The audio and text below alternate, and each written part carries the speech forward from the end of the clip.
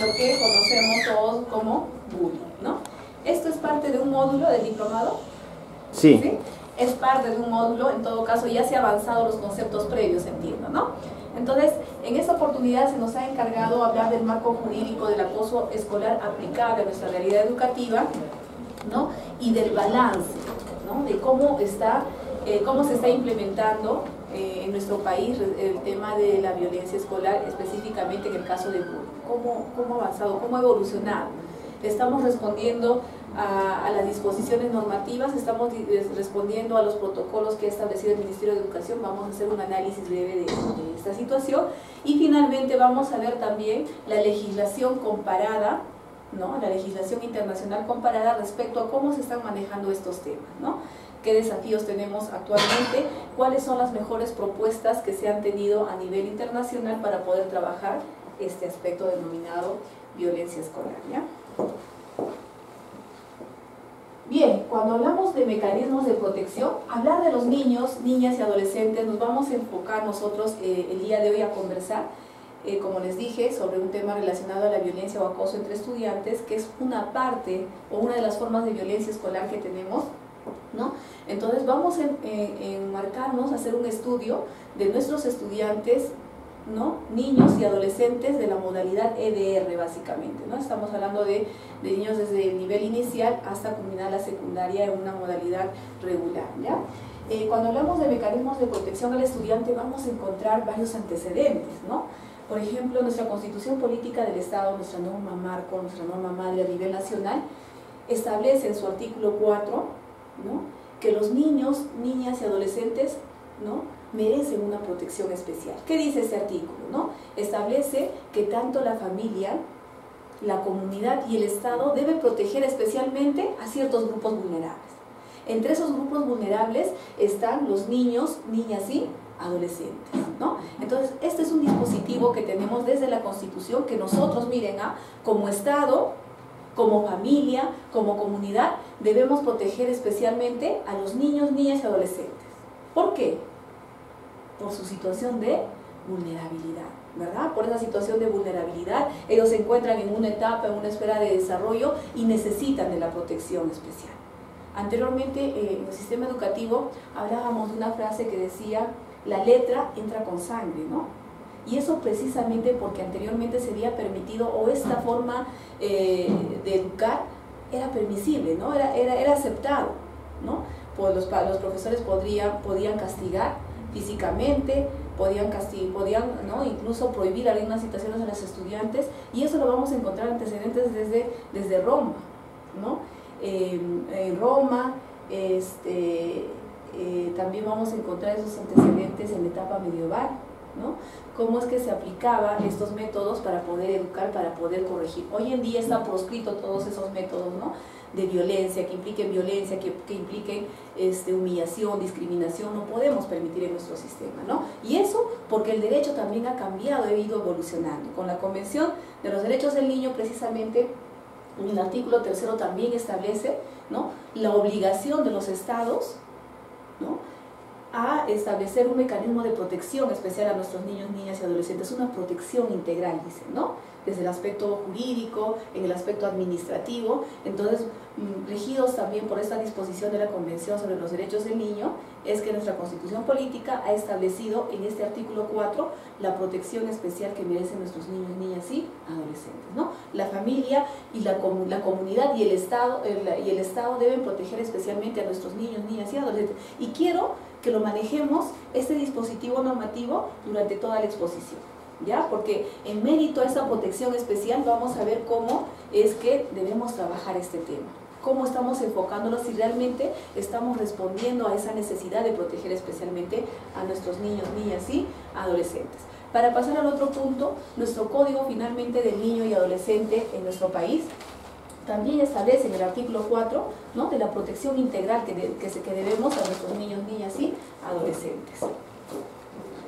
A ver, el estándar de protección al estudiante. ¿no? Esta, este preámbulo que les hice de la protección especial que merecen los niños, niñas y adolescentes es, el que está establecido en nuestra Constitución, en la Convención ¿no? de los Derechos del Niño y Adolescente. ¿no? Pero también vamos ya enfrascándonos un tanto específicamente al tema educativo. ¿no? Eh, los estándares de protección al estudiante, ¿dónde están establecidos? Cuando hablamos de la educación vamos a hablar de un derecho fundamental un derecho fundamental que está establecido en la Constitución, un derecho fundamental que el Estado debe garantizar, ¿no? Pero este servicio debe ser prestado en óptimas condiciones, ¿no? Libre de cualquier forma de violencia, de discriminación, que permita al niño un desarrollo adecuado, ¿no? Entonces, vamos a ver que en estos estándares de protección al estudiante vamos a encontrar precisamente taxativamente establecido en el artículo 15 de la Constitución Política del Estado. ¿no? Esa ¿Qué dice? El educando tiene derecho al buen trato psicológico y físico. Miren, ¿ah? ya en la Constitución estamos enmarcando ¿no? el derecho del educando, el derecho del niño, niña o adolescente en el ámbito escolar. Lo dice expresamente. ¿no? Entonces, el educando tiene derecho al buen trato psicológico y físico, dice este artículo 15. ¿no? ¿Qué dice? La Ley General de Educación, en su artículo 53, establece como estándar de protección que el estudiante es el centro del proceso y del sistema educativo. Nuestro estudiante es ese centro, ¿no? Aquí obviamente va a asistir los docentes, ¿no? Con la, con, con la metodología, los cursos de la malla curricular. Entonces, él es el centro del proceso del sistema educativo. ¿no? Debemos centrarnos en él para establecer las políticas y las metodologías para poderlos educar y poder que ellos puedan gozar a su derecho a la educación en óptimas condiciones. El artículo 53 en el inciso A dice, le corresponde, entendiendo al estudiante, recibir un buen trato y, educación, y adecuada orientación. Miren, ¿ah? estamos hablando de un, de un buen trato y adecuada orientación. ¿Cómo logramos ese buen trato en las instituciones educativas? ¿No? ¿Cómo logramos una adecuada orientación? ¿no? Entonces sabemos que nuestro sistema educativo, acá tenemos docentes, ¿no? Trabajamos con normas de orientación, anualmente trabajamos con normas de orientación del año escolar, ¿no? Y estas normas de orientación desde hace tres años es que establecen compromisos de trabajo, ¿no? Compromisos. Entonces vamos a ver que en mérito de esos compromisos también se va a enfocar el buen trato y la adecuada orientación. Y vamos a ver más adelante cómo en el compromiso 5 actualmente de las normas de orientación del año escolar, precisamente se está viendo el tema del clima institucional, ¿no? Entonces, aquí tenemos el aspecto normativo en relación, ¿ya?, al educando, ¿no? Los derechos, el derecho al buen trato, ¿no? A la dignidad, a, a, orientársele adecuadamente, ¿ya? Ahora, el docente, ¿qué dice? El estándar exigible a los docentes. Si el estudiante es el centro del sistema educativo, ¿no? Entonces los docentes, ¿no? Es ese factor, ese, ese factor humano que va a ser posible, ¿no? Lograr el objetivo final, que es educar, que es formar, que es orientar a nuestros estudiantes, ¿no? ¿Y qué estándares exigibles debe haber a los docentes? ¿Está establecido? Claro que sí. Y aquí lo tenemos en, en la Ley General de Educación, específicamente en el artículo 56, ¿no? ¿Qué dice? El profesor es el agente fundamental del proceso educativo. ¿No? Si nuestros estudiantes es el centro, ¿no? el profesor o el docente es el, agente fundamental. ¿no? Aquí estamos encontrando ya dos actores, los estudiantes como centro del sistema educativo y a los agentes fundamentales del proceso educativo que son los docentes. ¿no? Entonces ellos tienen que... Eh, tener ciertos, ciertos, ciertas características, ¿no? El profesor tiene que tener una idoneidad profesional, probada solvencia moral y salud física y mental que no ponga en riesgo la integridad de los estudiantes. Esas características tienen que tener nuestros docentes, ¿no es cierto? Porque ellos van a trabajar con los estudiantes, con este grupo vulnerable. No olvidemos que necesitan una protección especial y por tanto nuestros docentes tienen que tener esas condiciones, ¿no? Ser profesionales idóneos, morales, con solvencia moral, ¿no? Que estén formados, ¿no? Psíquicamente, que estén bien también, ¿no? Imagínense, eh, de repente una persona que no esté bien mentalmente no podría ser parte de este sistema. Entonces tiene ciertos estándares, ciertos requisitos también, ¿no? A ver, ¿qué dice la ley de reforma magisterial? Igualmente en el artículo 3 habla de este estándar de exigibilidad. La profesión docente tiene como fundamento ético para su, su actuación profesional el, eh, el respeto a los derechos humanos y a la dignidad de los niños y el desarrollo de una cultura de paz eh, esta ética exige al, al profesor idoneidad profesional, comportamiento moral, ¿no? que es lo propio y es, es este, similar a la primera exigencia que nos dice la Ley General de Educación. y acá dice, en el artículo 40 dice que los profesores deben ¿no? respetar los derechos de los estudiantes. ¿no? Dentro de las obligaciones, los deberes que establece la Ley de Reforma Magisterial, taxativamente, entre estos señala una serie de deberes, ¿no? Pero aquí tenemos lo relacionado a los estudiantes, dice en el inciso C, respetar los derechos de los estudiantes. ¿Cómo respeto los derechos de los estudiantes? ¿no? ¿Cómo respetamos? ¿no? Ejercer la docencia en armonía con los comportamientos éticos y cívicos. Asegurar el respeto mutuo. Miren, todos los deberes que se les han asignado a los, a los docentes, ¿no? Y otros que desprendan de la presente ley u otras normas específicas de la materia, ¿no? Entonces vamos a ver que los estándares también está establecido normativamente, ¿ya? En la Ley General de Educación y en la Ley de Reforma magisterial. ¿no? Ahora vamos a analizar si realmente, a ver, en, el balance, cómo estamos trabajando, qué se ha hallado desde las supervisiones que se han efectuado de diferentes entidades. Este es un punto que también hablábamos en el anterior eh, curso, y decíamos que la institución educativa es un espacio de convivencia o no es un espacio de convivencia. Necesariamente termina siendo un espacio de convivencia dinámico. Mire, ¿cuántos años de la vida, nuestros niños y adolescentes, están en la, están en la institución educativa. ¿no? Son 14 años, y le digo en la modalidad EDR básicamente, que es por lo general la que estamos enfocando, ¿no? son 14 años de la vida que se pasa en la institución educativa. ¿Cuántas horas? ¿Cuántos días a la semana? ¿no? Entonces vamos a ver que gran parte de la vida de nuestros niños, niñas y adolescentes lo pasamos o lo pasan en las instituciones educativas y necesariamente esta institución educativa termina siendo un espacio de convivencia, claro que sí, porque dentro de una institución educativa vamos a encontrar a diferentes actores, ¿no? Vamos a encontrar a nuestros estudiantes, a nuestros niños, a nuestras niñas, a nuestros adolescentes. Vamos a encontrar a los maestros y maestras, ¿no? Vamos a encontrar al personal administrativo, vamos a encontrar a los padres de familia. Entonces estamos viendo que tenemos una serie de actores que necesariamente que se interrelacionan entre sí y que necesariamente termina de ser este un espacio de convivencia, ¿no es cierto? Todos por acá creo que hemos pasado por, por las salas de las instituciones educativas y sabemos, ¿no? Hemos tenido que convivir, hemos tenido que en algún momento lidiar con algún problema, hemos tenido que superar o de repente en nuestros recuerdos, como ya personas adultas, ciudadanos, tenemos algún recuerdo de algún maltrato que hemos recibido, algún tipo de acoso. ¿no? porque anteriormente de repente se visibilizaba o era una forma de educar el tema, ¿no? aplicar ciertos métodos que implicaban un grado de violencia. ¿No? Entonces vamos a ver cómo ahora nuestros hijos, cómo deberían ser educados, cuáles son esos estándares que están establecidos. ¿no? Entonces, en esta institución educativa, en este espacio de convivencia, se tienen necesariamente que enseñar modos de convivencia social e institucional, ¿no? Porque estamos dentro de, una, de un ámbito que conglomera, aglutina a personas, a un número de personas, pero también eso nos enseña a tener modos de convivencia. Finalmente las instituciones educativas terminan de ser unos laboratorios, ¿no?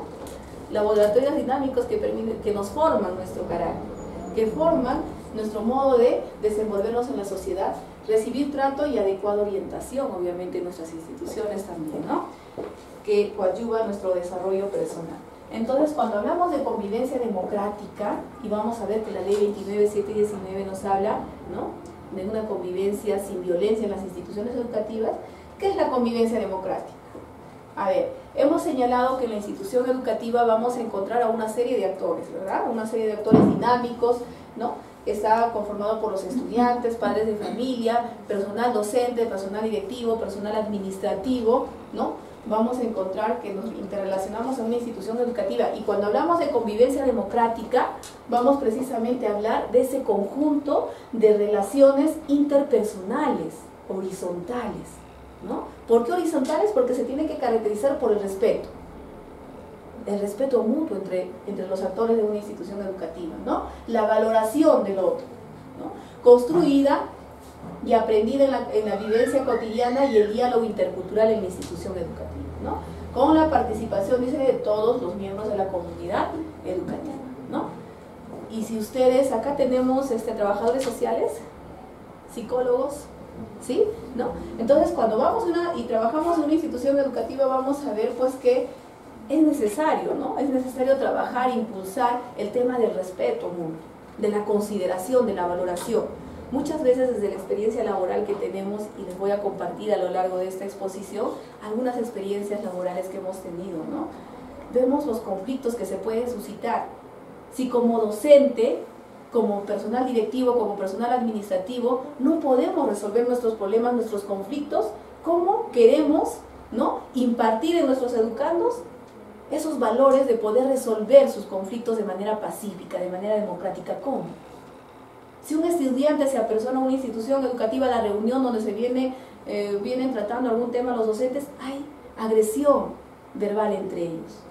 No hay un entendimiento, ¿no? Entonces, finalmente termina siendo el espejo y podemos imaginar cómo se puede manejar esa institución educativa, ¿no? ¿Qué queremos darles a nuestros estudiantes? ¿Qué mensaje le estoy dando si entre nosotros, personal docente, administrativo de la institución, no podemos superar ciertos problemas? No podemos tener una consideración, un respeto, una valoración a un esfuerzo que una persona de repente llegó a, no sé, a tener su doctorado, a terminar su maestría, en vez de reconocerlo muchas veces, ¿no? Se, se, trata de, de minimizar esta situación. Entonces, aprendamos también en nuestras instituciones a fomentar esto, el respeto, la valoración del uno por el otro, hacer ese espejo que queremos para nuestros estudiantes. ¿no? Se ha hablado mucho que en las instituciones educativas finalmente terminan siendo los lugares, los lugares en donde los estudiantes podrían encontrar una protección de repente. Podemos encontrar en nuestros estudiantes estudiantes ¿no? que pueden estar desprotegidos para, de sus familiares, podrían estar en una situación de abandono. ¿no? Entonces hay ciertos hay ciertas, eh, ciertas actitudes que un docente o una, un docente, una profesor o una profesora podrían captar y podría ser desde ese espacio que podríamos recuperar a ese niño, ¿no? Entonces nuestras instituciones deberían tener esa, esas características, ¿no? De ser respetuosos, de ser considerados y tener la valoración del uno por el otro. Eh, este es un, un cuadro que nosotros ya lo habíamos presentado en las otras exposiciones, ¿no? Pero considero necesario poderlo volver a recordar, ¿ya? Si vamos a hablar de una de las formas de violencia escolar, que en este caso es la violencia, el acoso escolar, que es el bullying, ¿no? Pero necesitamos identificar también brevemente, recordar las otras formas de violencia escolar. Hemos señalado que tenemos varios actores, ¿no? En nuestras instituciones educativas, ¿no? Entonces, si tenemos varios actores que interrelacionamos, que se interrelacionan en una institución educativa, obviamente también en mérito de esa interrelación podemos tener, tener una serie de conflictos, de problemas, de violencia y pueden haber muchas más formas de violencia que estas obviamente, ¿no? Pero las tres principales que involucran a los estudiantes la vamos a enfocar acá, ¿ya? Que es esta primera forma de violencia que podemos encontrar, ¿no? Esta violencia que involucra a un docente a un personal administrativo de la institución educativa, a un, a un director, de un director hacia un estudiante. ¿No? Entonces estamos hablando de personas que ejercen, una, eh, que ejercen algún tipo de autoridad en el estudiante, que ellos, ¿no? en lugar de proteger, terminan violentándolos. ¿Cómo? Físicamente, psicológicamente, sexualmente, ¿no? Entonces, eh, bueno, yo no merita acá hablar de muchos ejemplos, y a eso ha sido otra clase, pero hemos tenido ejemplos vivos, ejemplos reales que hemos podido exponer en otras oportunidades y seguramente ustedes también lo han leído, lo han escuchado en los noticieros, ¿no? A nivel nacional, el caso de Clinton Maine, ¿no? Eh, entonces, o de directores de, de, personal de la institución educativa que, que, acosaba sexualmente. Acá en Ayacucho nada más hemos tenido tantos casos, ¿no? Entonces, aquí vamos a tener esta forma de violencia escolar se denomina castigo físico y humillante. No olvidemos, por favor, esta forma, esta violencia que ejerce el personal docente, directivo, administrativo de una institución educativa hacia sus estudiantes se denomina castigo físico y humillante, ¿ya? Y esta, esta forma de violencia está regulado, este procedimiento, ¿no? Está regulado en la resolución ministerial 519-2012 ED, ¿ya? Entonces, esta resolución ministerial establece los procedimientos que se tienen que seguir para investigar y para proteger a un estudiante que puede ser víctima de violencia por parte de su docente o su personal administrativo. ¿no? Entonces, ¿qué establece esta norma? esta norma establece, primero inicia ¿no? contemplando principios de no revictimización, por ejemplo. Si en nuestra institución educativa estamos trabajando con un grupo vulnerable, con un grupo de especial protección, ¿no? entonces eh, se tiene que adoptar las medidas porque no podemos revictimizar. ¿Cómo se revictimiza muchas veces en las instituciones educativas? ¿Qué pasa? A veces en alguna, en alguna oportunidad cuando fuimos a hacer una intervención en el trabajo para ir a ver, ¿no? ante ciertos casos de, denuncias por parte de violencia, ¿no? ¿Qué pasa? Los docentes en una oportunidad fuimos y un director nos decía y nos señalaba, mire, usted llegó para verificar qué acciones hemos adoptado y yo le demuestro qué acciones hemos hecho. Nosotros hemos entrevistado, nosotros hemos, eh, eh, hemos hecho una entrevista conjunta, tanto a la profesora que presuntamente era la agresora y al niño. Hemos hecho un careo en mi despacho. He levantado el acta y se ha determinado, cuando se le ha preguntado a la menor o a la niña si había sido víctima de violencia por parte de su profesora, ella, la niña señaló que no. Aquí está su manifestación, aquí está su firma. ¿no? Entonces, mire, señor director, eso no es una donde dice que usted tiene que intervenir así. Eso no es adecuado. Nuestros niños, niñas o adolescentes, si tienen que ser entrevistados, tienen que ser en presencia de sus padres, con autorización de sus padres. O sea, nosotros no somos, ¿no? Eh, eh, eh, bueno, en el Instituto Educativo usted no es psicólogo, usted no, no trabaja en el Instituto de Medicina Legal, no es el psicólogo del Instituto de Medicina Legal para, hacer la entrevista, ¿no? Tiene que ser con autorización si es que el caso lo amerita. Eso nunca nos olvidemos. Termina revictimizando muchas veces a los niños, poniéndolo en esa situación de dolor, ¿no? Nos habla, esa norma nos habla del castigo físico y humillante, de las diferentes formas de castigo físico y humillante. Nos habla del castigo físico, del maltrato psicológico, del acoso sexual, de la violencia sexual incluso, ¿no? Entonces, aquí se establece una serie de procedimientos para poder investigar y proteger adecuadamente también a nuestros niños, niñas y adolescentes, ¿ya? Y esto, este, este, esta, esta disposición, brevemente les digo, señala que cualquier persona que tome conocimiento de un hecho de violencia por parte de un personal de la institución educativa hacia un estudiante, cualquier persona está en obligación de efectuar la denuncia. Está en la obligación de efectuar la denuncia. La denuncia se puede presentar por escrito o de manera verbal. ¿Cómo lo hago de manera verbal? Me voy a personar a la institución educativa, al director, decirle director, soy profesora de tal grado y he sido testigo de que el, docente del primer grado ha maltratado psicológicamente al estudiante. Lo viene acosando, ¿no? Ha discriminado en sí, ¿no? O soy padre de familia que estaba de paso en la institución educativa, he sido testigo de un hecho de violencia, voy a reportarlo a la institución educativa, al director, ¿no? El director tiene que registrarlo, en el caso del libro de registro de incidencia, reportarlo, luego así se ve, ¿no? Entonces, cualquier persona que tome conocimiento puede poner en conocimiento eh, de un hecho de violencia. ¿Ya? ¿Qué más dice esta norma? Una vez que ha puesto en conocimiento de la, se tiene que convocar al padre, Al padre del niño eh, afectado para poner en conocimiento esta situación y en el término de 24 horas, dice esta norma, ¿ya? En el término de 24 horas lo tiene que derivar a la unidad de gestión educativa local, ¿no? Eh, ¿Para qué? Para que se aperture con las investigaciones administrativas correspondientes, ¿no? Entonces, vamos a ver que en 24 horas lo tiene que derivar a la UGEL y en el mismo término, dice la norma, se tiene que derivar al Ministerio Público. Ese es el procedimiento, ¿ya?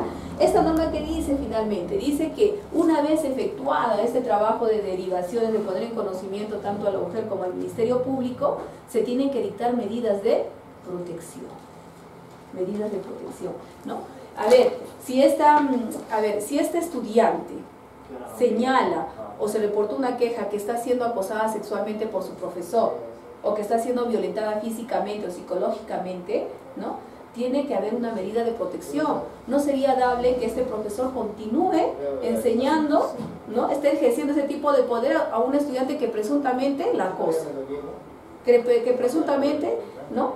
La maltrató físicamente, psicológicamente o abusó sexualmente de él o de ella, ¿no es cierto? Entonces, ¿qué dice la norma? Se tienen que dictar medidas de protección y para eso nos remitimos a la ley de reforma magisterial, nos remitimos ¿no? al reglamento de la ley de reforma magisterial, a los lineamientos de procedimientos administrativos disciplinarios del MINEDU, ¿no? que establece que cuando hay esta situación se tienen que dictar medidas de protección idóneas. Cuando hablamos, miren, ¿ah? cuando hablamos de temas relacionados a violencia sexual, ¿no? Cuando hablamos temas relacionados a, una violencia física grave, ¿no?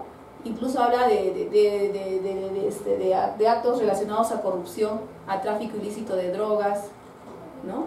Se tiene que poner a disposición inmediata del docente a la unidad de gestión educativa local correspondiente. Se pone a disposición mientras dure el proceso de investigación, porque no sería dable que un profesor que acosa sexualmente a su estudiante continúe siendo su profesor, ¿verdad? Entonces, la medida de protección tiene que adoptarse de esa manera.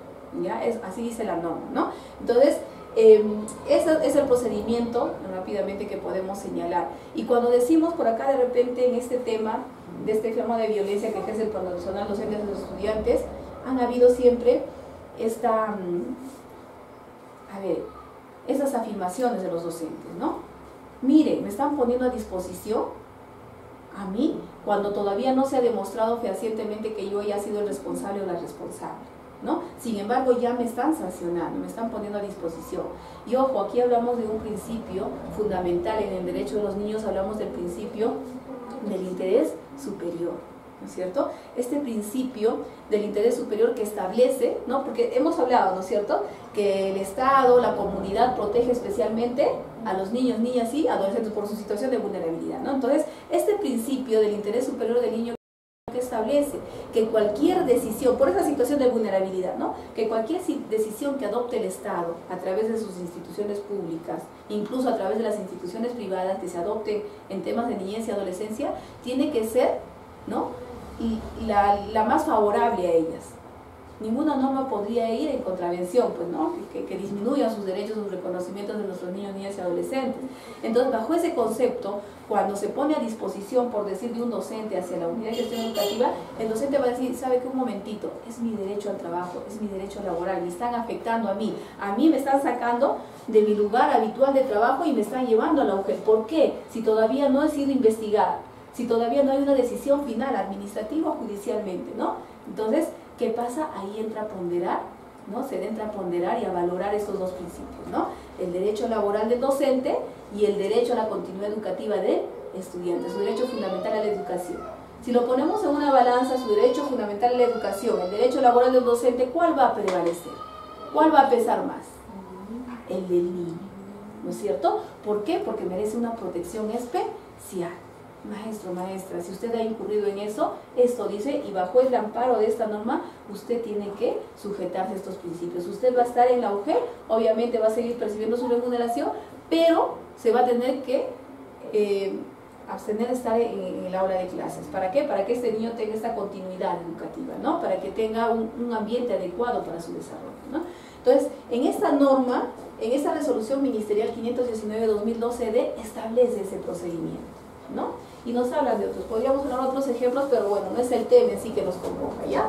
Entonces, ¿qué pasa? Este, esta, esta forma de violencia, el castigo físico y humillante está regulado por esa resolución, ¿ya? Pero ¿qué pasa? ¿No? El Ministerio de Educación ha estado, hablamos de varias formas de violencia escolar, ¿no es cierto? Esta forma específica está regulada en esa norma. Pero ¿qué pasa? El año pasado, si no me equivoco, en el mes de mayo ha sido, se emitió esta resolución, este decreto supremo 04-2018 MINER. Este decreto supremo, finalmente, ante varios procedimientos que existe, porque esta, esta resolución regula esta forma de violencia, pero miren, al regula otra ley y otro reglamento, ¿no? Tiene su propia regulación. En casos de indisciplina también, ¿no? Entonces, ¿qué pasa? Este decreto supremo ha terminado de consolidar el año pasado, ¿no? Todos estos procedimientos y ha emitido los protocolos, ¿no? protocolos de intervención en casos de violencia escolar. Y precisamente este tema del castigo físico y humillante está, si ustedes revisan ese decreto supremo, vamos a encontrar protocolos de intervención, de actuación de los docentes, ¿no? Frente a este tipo de violencia escolar. Entonces, en el protocolo 3, 4 y 5 vamos a, vamos a encontrar los procedimientos de, este, de esta forma de violencia, ¿ya? Pero este, bueno, sabemos que la resolución ministerial es la que ha establecido taxativamente cuál es ese procedimiento, esta lo ha consolidado, ¿ya? Entonces, eso es la forma de esa es una de las formas de violencia escolar, ¿no? Formas de violencia escolar. A ver, ¿qué ejemplos podemos encontrar acá? Ustedes recordarán, por ejemplo, hay un caso aquí en Ayacucho, ¿no? En una institución educativa emblemática, ¿no? Que un docente, mire, ¿qué dice esta norma, no? Dice que con el ánimo, con el propósito de corregir, de educar, se pueden adoptar decisiones que terminen perjudicando a los estudiantes, que terminen dañándolos física o psicológicamente. Una institución educativa muy grande de acá, una de las más reconocidas que pasó hace dos años, creo que si no me equivoco, hace tres años, ¿no? Los maestros Fortaleza, ¿no? Convocaban a los estudiantes en hora de la tarde, 40 estudiantes de una institución educativa, creo que el estudiante era de tercero de secundaria, si no me equivoco, ¿no? Este estudiante llegó cinco minutos tarde a su clase de reforzamiento en la tarde, ¿no? Entonces el profesor dijo, ah, no, te voy a enseñar, y miren cómo encaja en, esta, en este dispositivo que dice, no, te voy a enseñar a que corrijas esa actitud. Te voy a enseñar a que tú a partir de la fecha tienes que ser responsable, tienes que ser puntual. Si se te cita una hora, tú tienes que estar cinco minutos antes o a la hora en punto, ¿no? Entonces, te, vamos, te, vas, te has hecho merecedor a un castigo, ¿no? Dos grupos, 40 estudiantes, dos grupos de 20, callejón oscuro. El joven efectivamente pasó callejón oscuro, los compañeros aprovecharon para golpearlo, ¿no? El joven no dijo nada ese día, hizo sus clases, pero al día siguiente se sentía tan mal que no podía ir a clases, ¿no? Entonces cuando ya su mamá le lleva o sus familiares le llevan al hospital, se determina que este joven había sido dañado gravemente a nivel de los testigos. Este joven tuvo que viajar a la ciudad de Lima, según los reportes que, teníamos, ¿no? lo tuvieron que extirpar incluso uno de los testigos. ¿no? Miren, un tema de violencia. Miren, probablemente el profesor no tenía esa intención de generar esa lesión, pero fue, pero fue quien dispuso y quien dijo, ah, no, lo vamos a corregir. Por eso siempre cuando hablamos con los maestros, los maestros les decimos hay que tener mucho cuidado. A veces el propósito no ha sido causarle una lesión grave, porque eso fue, terminó en una lesión grave, obviamente al, docente se le ha denunciado. El docente parece que estaba como no habido incluso, ¿no? Entonces, ese docente también tiene familia. Todos trabajamos, ¿no? Por, por, nuestra subsistencia y de repente verte inmerso en un problema así. Por eso siempre analicemos bien las decisiones que se van a adoptar a nivel de las instituciones educativas. Otro caso que teníamos aquí en Ayacucho, el caso de una institución muy cerca al parque, ¿no? De un docente que aprovechaba de la situación de vulnerabilidad de su estudiante de quinto de sexto grado, ¿no? que subía de una discapacidad, por tanto no podía ella hacer educación física, y aprovechaba esas horas para encerrarla en, la institución educativa y abusar sexualmente de ella. ¿no? Entonces, esto se, se, tomó en conocimiento, se tuvo que acudir obviamente a la fiscalía, se ha hecho la investigación, la apertura de investigación y es un proceso que está, ¿no? probablemente ya este, haya avanzado este proceso. ¿no? Entonces, la historia, cuando nosotros lo contamos, incluso hay muchos detalles de quién induce, ni siquiera la niña fue la que contó, sino un compañerito que entró por casualidad, vio el acto y le prácticamente obligó a su compañera a decirle tienes que contar, yo he visto. Pero la niña tenía miedo de contar porque el profesor lo había amenazado. ¿no? Miren, podemos ver situaciones graves. O podemos tener un caso en un colegio de una escuela de San Juan Bautista, ¿no? Que vimos a un profesor, a un director tratando de negociar, de conciliar un tema de tocamientos indebidos a niñas de quinto grado. Las niñas contaban a los papás y cuando los papás fueron, el director les decía, miren, este tema lo podemos conciliar, ¿para qué va a salir de la institución educativa?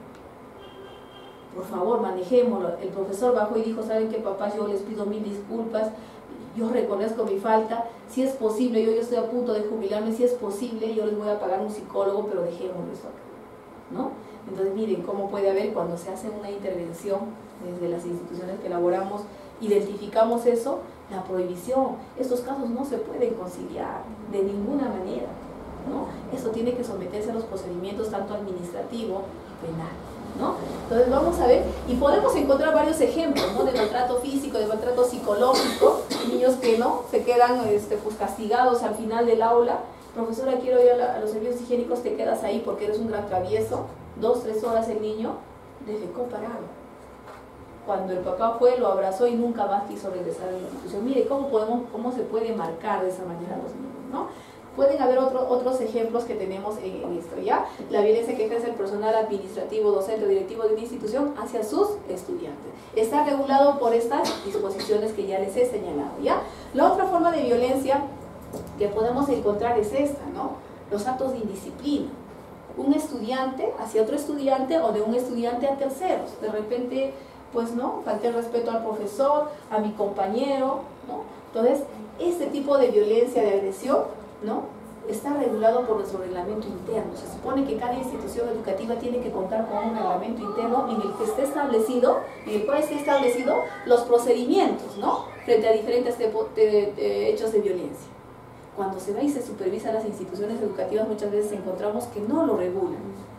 No lo regulan. Entonces es un momento para poder socializar y este, señalar que el reglamento interno tiene que responder a esa necesidad de regular también los, los cómo proceder ante tipos de violencia, ante el bullying, ante castigo físico y humillante, ante, actos de indisciplina, ¿no es cierto? Entonces, eh, y ese reglamento interno en las instituciones educativas tiene que responder a una realidad, a una realidad institucional. ¿No es cierto? Entonces muchas veces, ¿qué pasa? Se copian modelos, ¿no? Me voy copiando modelos de una institución educativa y ese modelo va rotando y rotando y no responde necesariamente a la necesidad que se tiene en la institución educativa, ¿ya? Entonces, aquí en nuestro reglamento interno es indispensable regular estos actos de indisciplina y otras formas de violencia para poder aplicar cuando se suscite, ¿no? Un estudiante hacia otro estudiante, se pelearon, le insultó, lo golpeó, lo humilló, lo discrimina en un momento, ¿no? Igual de un estudiante a un tercero que puede ser su profesor, puede ser un padre de familia, ¿no? Entonces, esto es, ¿ya? La otra forma de violencia vamos a encontrar, bien, la otra gran forma de violencia vamos a encontrar la violencia o acoso entre estudiantes, entre compañeros, lo que conocemos como bullying, ¿no? El bullying. ¿No? Y es una de las grandes formas de violencia y decimos grandes porque lamentablemente los porcentajes que tenemos en nuestras instituciones educativas son alarmantes. Entonces, el bullying es la otra forma de violencia que se da de un estudiante a otro estudiante. Pero ¿cuál es la diferencia? No? Si acá también estamos hablando de estudiante a estudiante, ¿no? Un acto de indisciplina. Vamos a ver que en los actos de indisciplina, en esta forma de violencia, la violencia se suscitó en el momento. Se dio en un momento determinado. En el bullying va, va a caracterizarse por la permanencia. Yo te molesto, yo te humillo, yo te pongo chapas, yo te discrimino de manera permanente. Ya te agarré de punto, ella es mi punto. Tú te vas de la institución porque te vas, porque yo me llamo tal, porque yo dejo de llamarme tal persona. Entonces yo de manera permanente molesto y fastidio, ¿no? Entonces el bullying es esa forma reiterativa de violencia. Y esa es la diferencia con estos actos de indisciplina que podría darse, ¿no? El bullying en nuestro país está regulado por la ley 297 19, una ley que no podemos, los que trabajamos en las instituciones educativas no podemos olvidar. ¿ya? Entonces, esta ley es la ley 29719, es una ley, que ha sido promulgada, si no me equivoco, en el junio del año 2011. ¿ya? 2011 ante ciertos antecedentes, ¿no? Y luego su reglamento que ¿no? lo, lo, lo, reglamenta el decreto supremo 010-2012 ED, ¿no? que ha sido promulgado un año después. ¿ya? A ver, el bullying, ¿en qué contexto se da en nuestro país? ¿No? Este, hasta el año 2011 no teníamos una ley propia para que regule este tema, tema de violencia, de, ¿no? de violencia escolar. Habían antecedentes, habían varias ya reiterativamente, varias, varios casos que ameritaban ¿no? de un tratamiento, de una regulación especial. Tenemos un caso emblemático que sirvió de base y de sustento para que finalmente termine de darse o de promulgarse esta ley, la 29719, ¿no? ¿Qué caso? Tenemos el caso de Clinton Maile, no sé si ustedes escucharon hablar de este estudiante huanuqueño, que en el año 2010 llegó con su familia a la ciudad de Lima, seguramente cargado de muchas esperanzas, una familia muy humilde, se ven los reportajes, si ustedes pueden entrar, caso Clinton Maile, vean, hoy, hoy en día Clinton Maile debe tener 23 años, ya todo un ciudadano, ¿no? ¿Qué pasó con Clinton Maile? ¿no? Clinton Maile llega con su familia a la ciudad de Lima y obviamente eh, lo, lo, matriculan en una institución educativa de San Juan del Vigancho, si no me equivoco, ¿no? Entonces, a, Clinton Maile, que era un estudiante de tercero secundario, si no me equivoco, sus compañeros lo discriminaban. ¿Por qué? Porque era provinciano, porque era, ¿no? Porque era serrano, porque era, y le tenían envidia porque era uno de los mejores estudiantes de matemáticas. ¿No? Entonces a Clinton Maile permanentemente lo habían ganado de puntos, se burlaban, lo golpeaban.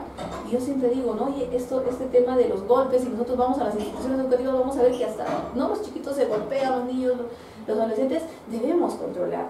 Porque ese juego, ese aparente juego de niños puede terminar en lo que terminó este caso, ¿no? A Clinton Maile lo agarraron, lo patearon, le ponían apodos, se burlaban de él, lo empujaban. En una de esas, eh, de esas prácticas de sus compañeros, ¿qué pasa? a Clinton Maile, ¿no? Lo golpean tan fuerte, lo patearon, no solamente un compañero, sino varios compañeros, lo golpearon, ¿no? Clinton Maile dice, ese día llegó caminando a su casa, muy adolorido. Pero desde que se echó en la, eh, eh, eh, en la cama de, su cuarto, en su, su cama, Clinton Maile nunca más volvió a pararse. ¿Qué pasó con Clinton Maile? No podía, al día siguiente no podía ir a la institución educativa, sus papás muy humildes en el reportaje que ustedes pueden acceder, ¿no?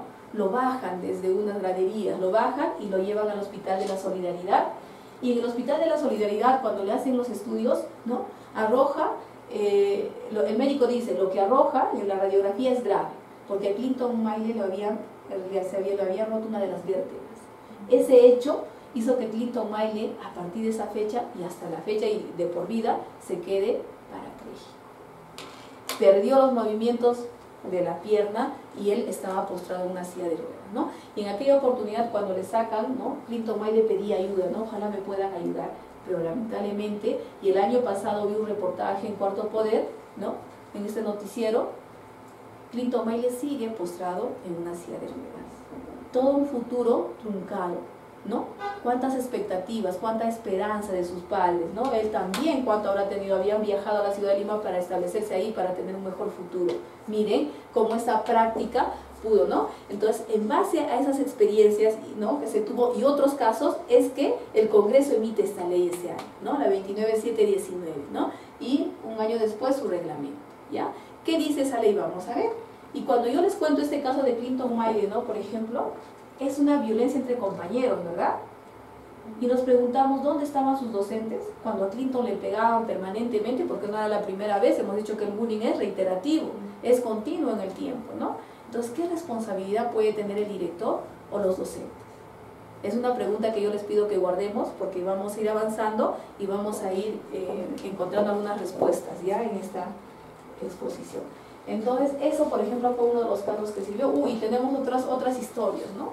De un estudiante en coma de, 13 años que murió tres días después al entrar en, en, coma, ¿no? Por edema cerebral y pulmonar por los golpes que le habían propinado los estudiantes y otros tantos ejemplos que podemos encontrar, ¿no? Entonces, eh, esa es la norma que regula el bullying, ¿ya? Y brevemente, ¿qué es el bullying? Ya nos hemos adelantado en definir precisamente, vamos a tratar en esta exposición el tema relacionado a esta forma específica de violencia, que es el bullying. Bullying significa violencia o acoso, ¿ya? Violencia, acoso. ¿Entre quiénes? Entre estudiantes, entre compañeros. Conducta de hostigamiento, falta de respeto, ¿no? Que puede ser de forma verbal, físico, que recibe un estudiante de manera reiterada por parte de otros estudiantes. El bullying siempre se va a dar entre estudiantes, ¿no? De estudiante a estudiante, ¿ya? ¿Con el fin de qué? De someterlo, de excluirlo, de intimidarlo, de discriminarlo, de humillarlo, ¿no? De golpearlo.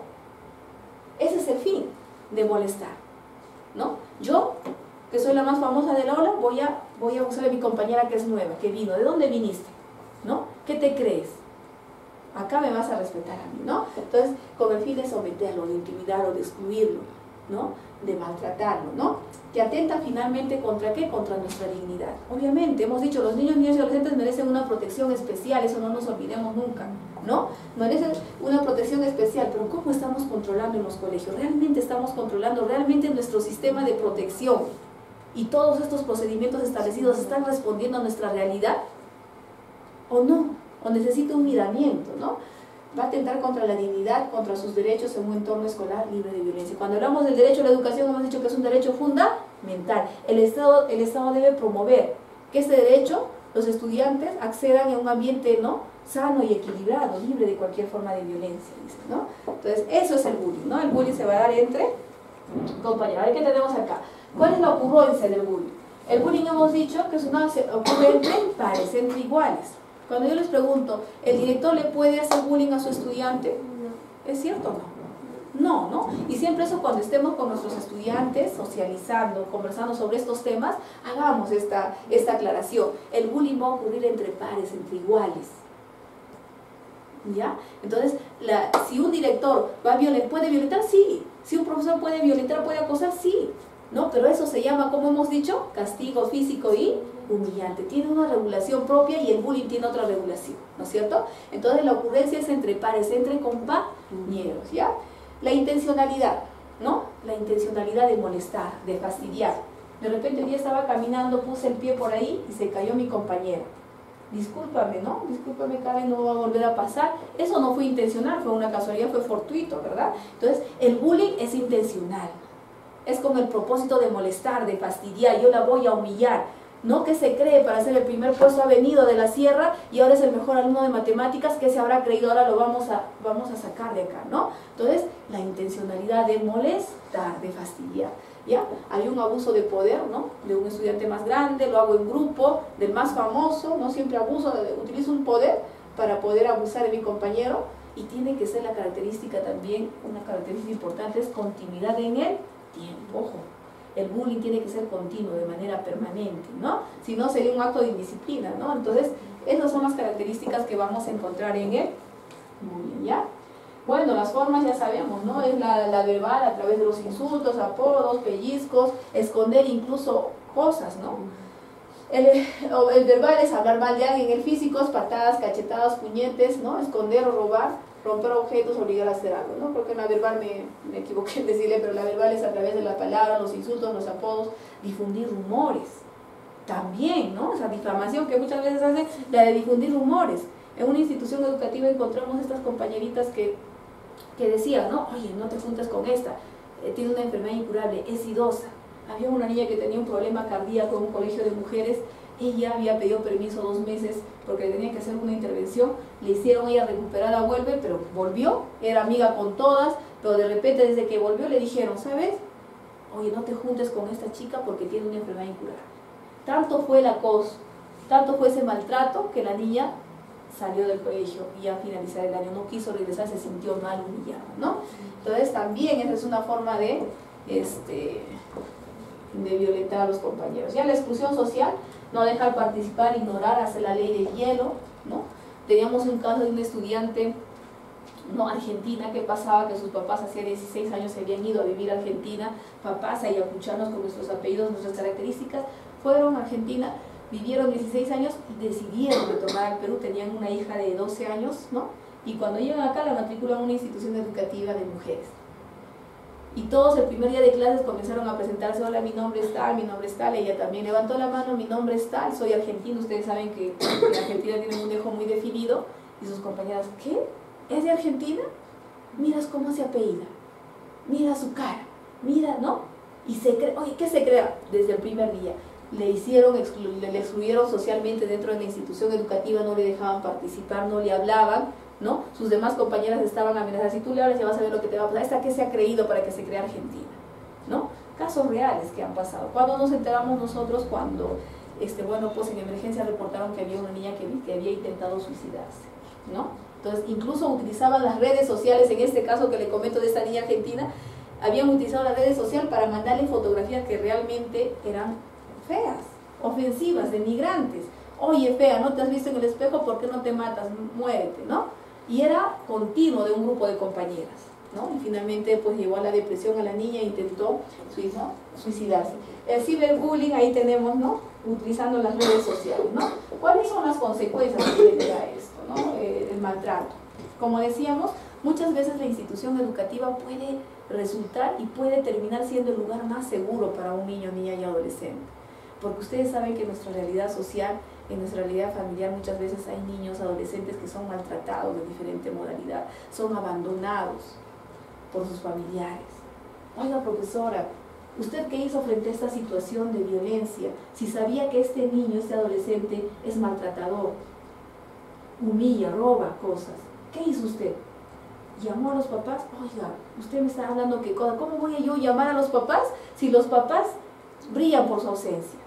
Papá, mamá están en la selva, vienen cada seis meses, tres meses, dos meses, y este joven de 14 años es incorregible, es un futuro proyecto de delincuente. Yo ya no puedo con el que se vaya de la institución educativa. Y es más, este proyecto de delincuente tiene dos hermanos de 10 y de 8 años. Miren, ¿no? Profesora, usted como docente está percibiendo claramente, me está señalando que este niño o este adolescente de 14 años está en una situación de abandono. Y que él tiene a su cargo a dos hermanos que también tienen esta conducta. ¿Acaso cuando habla la norma o la ley, la constitución nos dice de proteger especialmente a nuestros niños, niñas y adolescentes, no es en la institución educativa que se está percibiendo estas cosas y tendríamos que poner en conocimiento a las autoridades competentes. Ese es el momento. Por eso les digo que a veces la institución educativa termina siendo el lugar más seguro que puede tener un niño, niño o adolescente. Y los docentes muchas veces se percatan, los trabajadores sociales, psicólogos que trabajan en la institución, este niño no era así, algo le está sucediendo. ¿no? Entonces es el momento para protegerlos, ¿ya? Anteriormente hablábamos de temas de abandono, haciendo un paréntesis, ¿no? Hoy en día hablamos de desprotección parental o riesgo de perder, ¿ya? Anteriormente, hasta el año pasado, los temas de abandono o de desprotección lo veía el juzgado de familia. Hoy en día lo ve la unidad de protección especial, ¿sí? Sabemos que es la unidad de protección especial, ¿no? Es una dirección eh, de la que depende del Ministerio de la Mujer y que precisamente se ha creado en Ayacucho el año pasado, en noviembre del año pasado, funciona para ver casos de desprotección, de niños, niños de, desprotección parental, de niños, niñas y adolescentes, ¿no? o en riesgo de perderlos. Cuando ustedes en el ejercicio de su función docente o de una, de una institución educativa sean testigos de que hay un niño que puede estar ahí, vamos a hablar de abandono, que es lo más general, ¿no? De, abandono, ¿no? Ustedes, o en una posibilidad, un riesgo de perder esa protección parental, ¿qué tienen que hacer? Es comunicar inmediatamente a esta unidad de protección especial. Esta unidad de protección especial, a diferencia de lo que del tratamiento que se daba en el Poder Judicial a través del juzgado de familia, tiene un equipo multidisciplinario, ¿ya? Cuenta con abogados, cuenta con psicólogos, cuenta con trabajadores sociales, cuenta con educadores, estamos viendo que es un equipo multidisciplinario, de tal manera que si la institución educativa, profesora, usted que dijo que este niño es un futuro proyecto de delincuente, ¿no? Usted está en el deber de reportarlo al director y el director de derivarlo, reportarlo a esta unidad de protección especial. Esta unidad de protección especial va a venir a qué? A verificar cuál es la situación del niño en el colegio, a ver quiénes son sus papás. La trabajadora social irá al domicilio a verificar cuál es el tema social de ellos van a ver esa situación, van a ver si realmente están en una situación de desprotección para poderlos internar en el caso, ¿no? Buscar qué familiar puede, porque no podemos permitir, ¿no? Que un adolescente de 14 años esté a cargo de sus dos hermanos menores, cuando él también necesita protección. Entonces, cuando ese niño identificamos como agresor, como, como violento, como maltratador es porque algo le está sucediendo, ¿no es cierto? Y precisamente el objeto de la ley 2979 es determinar eso, darle también una protección, protegerlo a esos nuestros niños, enmarcarnos en esa disposición constitucional de proteger especialmente. El Estado, la familia, la comunidad protege especialmente a este grupo, ¿ya? Las consecuencias obviamente, ¿no? Va, va a generar inseguridad, desconfianza, depresión. Hemos visto casos de niños o niñas que han intentado suicidarse o casos que han logrado suicidarse, ¿no? Hoy día estaba revisando y leyendo algunos ejemplos claros. Mm, tenemos ejemplos en Arequipa, tenemos en Junín, en Lima, un montón de casos acá en Ayacucho. Hay un caso muy triste, ¿no? Que nos reportaron hace en el mes de mayo fue, o junio, hay un caso que se reportó en el CCB de Ayacucho de Víctor de Fajardo, ¿no? De Fajardo, uno de los distritos de Fajardo, no recuerdo ahorita el distrito, de un joven que se había suicidado, un estudiante de quinto secundaria, se había suicidado por ser víctima de entonces, este es un tema que está en investigación y al parecer el joven dejó una carta despidiéndose ¿no? de sus familiares, despidiéndose de, sus compañeros, agradeciendo a las personas que le habían ayudado. ¿no? Miren, si no se le da una ayuda oportuna, no se interviene en el momento, podemos perder una vida importante, podemos perder a, un, a, uno de nuestros niños, niñas o adolescentes. Por eso es importante que nuestras instituciones educativas se capte esta situación, veamos cuál es el procedimiento es muy importante, ¿no? Es vital hacer eso, ¿ya? Y aquí tenemos un montón de ejemplos que podríamos encontrar, ¿ya? Que los invito a que revisen y van a ver qué van a encontrar, ¿ya? Entonces, cuando hablamos ya para pasar al otro tema eh, de la ley, ¿quiénes intervienen en el bullying? En, esta, en, ¿no? ¿Quiénes? El agresor, la víctima, los espectadores. Y tengamos presente también, eso no se olviden por favor, el agresor, la persona que molesta, que humilla, que fastidia, que discrimina, ¿no? Permanente y reiteradamente, la víctima, ¿no? Aquel estudiante que a veces, muchas veces ya llegó a la depresión, no puede defenderse, que le están afectando en su libre desarrollo, ¿no? Miren, ¿ah? y tenemos otro grupo acá, los espectadores, que sin ser agresor ni víctima se ven inmersos en este proceso. Y usted en este salón, y de repente veo que mis compañeros se pelean o bueno, le, le molesta permanentemente, estoy expectando, estoy viendo, ¿no?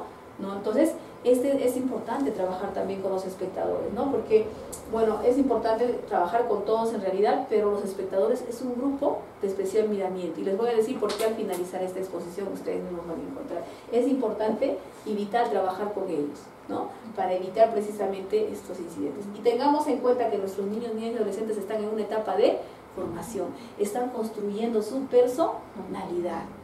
¿no? Están construyendo esa capacidad de autoestima que puedan tener, ¿no? ¿Cuánto es la autoestima de este agresor? ¿Cuál es la autoestima de esta, de esta persona que de repente no se ve humillado, discriminado? No estamos generando personas, ¿no? ¿En qué situación? Los espectadores, ¿qué le estamos diciendo a ellos? Ellos van a ser futuros ciudadanos, van a ser nuestras autoridades, ¿no? ¿Qué van a llevarse de la experiencia escolar? Ese laboratorio que tendría que ser la etapa formativa, de, sus vidas, ¿no? Entonces, vamos a ver cómo, y qué, ojo, ¿ah? aquí no están los docentes, aquí no están los profesores, qué responsabilidad tienen ellos en esta relación, ¿no? ¿Qué responsabilidad ellos pueden asumir? ¿Hay o no responsabilidades? Muchas veces cuando conversamos con los maestros y maestras nos dicen, uy, acá es una norma draconiana, acá nos... No, y tal vez con razón lo dicen porque lamentablemente ellos no sienten el apoyo del Estado, como debería ser, ¿no? Entonces, vamos a ver, ahí están nuestros actores en una relación de violencia o acoso entre estudiantes. Y esta es la ley 29719, como él les decía, en el año 2000. 11 de junio se emite, ¿no? Si no me equivoco, junio. Sí, el 23 de junio de 2011 se publica la ley 29719 que se denomina Ley que promueve la convivencia sin violencia en las instituciones educativas, ¿ya? Es conocida como la ley antigua, ¿no? La ley que promueve la convivencia, miren, sin violencia en la institución educativa. Y esta ley precisamente se enmarca en esta forma específica de violencia, el bullying. La violencia entre compañeros, ¿ya? Entonces, cuando hablamos de bullying, pues hablamos de un término inglés, ¿no? Bullying, ¿no? que significa precisamente violencia o acoso entre, entre, estudiantes, entre compañeros. ¿no? Miren, un año después de la ley, ya, se emite, ¿no? y lo digo casi un año es, ¿no? porque yo me acuerdo que, bueno, pues estaba siempre al pendiente del tema de trabajo era este y siempre estaba esperando, y en junio del 2012 se publica, y nunca me olvido ese día, ¿no? porque habían casos que, que, que atender, ¿no? Este 2 de junio se publica el Decreto Supremo 010-2012, que es el reglamento. ¿Ya? Es el reglamento de esta ley que comenzó en todo caso a tener vigencia de esa fecha, ¿ya? En la ley 29719, ¿qué obligaciones nos da? En realidad, cuando revisamos la ley 29719 y su reglamento, vamos a ver que se reconoce, que, que se establecen responsabilidades, tanto al Ministerio de Educación, a las direcciones regionales de educación, a las UGES, a las instituciones educativas, ¿ya? Una serie de responsabilidades. El Ministerio de Educación le dice obviamente que tiene que establecer las políticas públicas para poder regular este procedimiento, ¿no? las capacitaciones, las coordinaciones que se tienen que hacer con las direcciones regionales de educación, del mismo modo la Dirección Regional de Educación y la UGE. ¿no? La Dirección Regional de Educación básicamente con la capacitación, las UGES también hacía los directores y personal de la institución educativa para afrontar este tema. ¿ya? ¿Qué responsabilidades establece esta ley a las instituciones educativas? Es importante, ¿no? Porque ahí vamos a aterrizar con este procedimiento, ¿no? ¿Qué dice? La ley le dice básicamente, miren, Ministerio de Educación tiene una serie de responsabilidades. Por ejemplo, el Ministerio de Educación tendría que sacar un boletín informativo, dice, al inicio del año escolar para que se pueda otorgar a los padres de familia, para que ellos estén informados de cómo deben, deben trabajar también con sus hijos, ¿no? Pero hasta la fecha no lo ha hecho, eso no es el Ministerio de Educación, miren cuántos años ha pasado. A ver, responsabilidad de la institución educativa. Le dice que tienen que, eh, que contar con un plan de, mire, con un equipo, claro, tienen que contar con un equipo de convivencia, ¿no?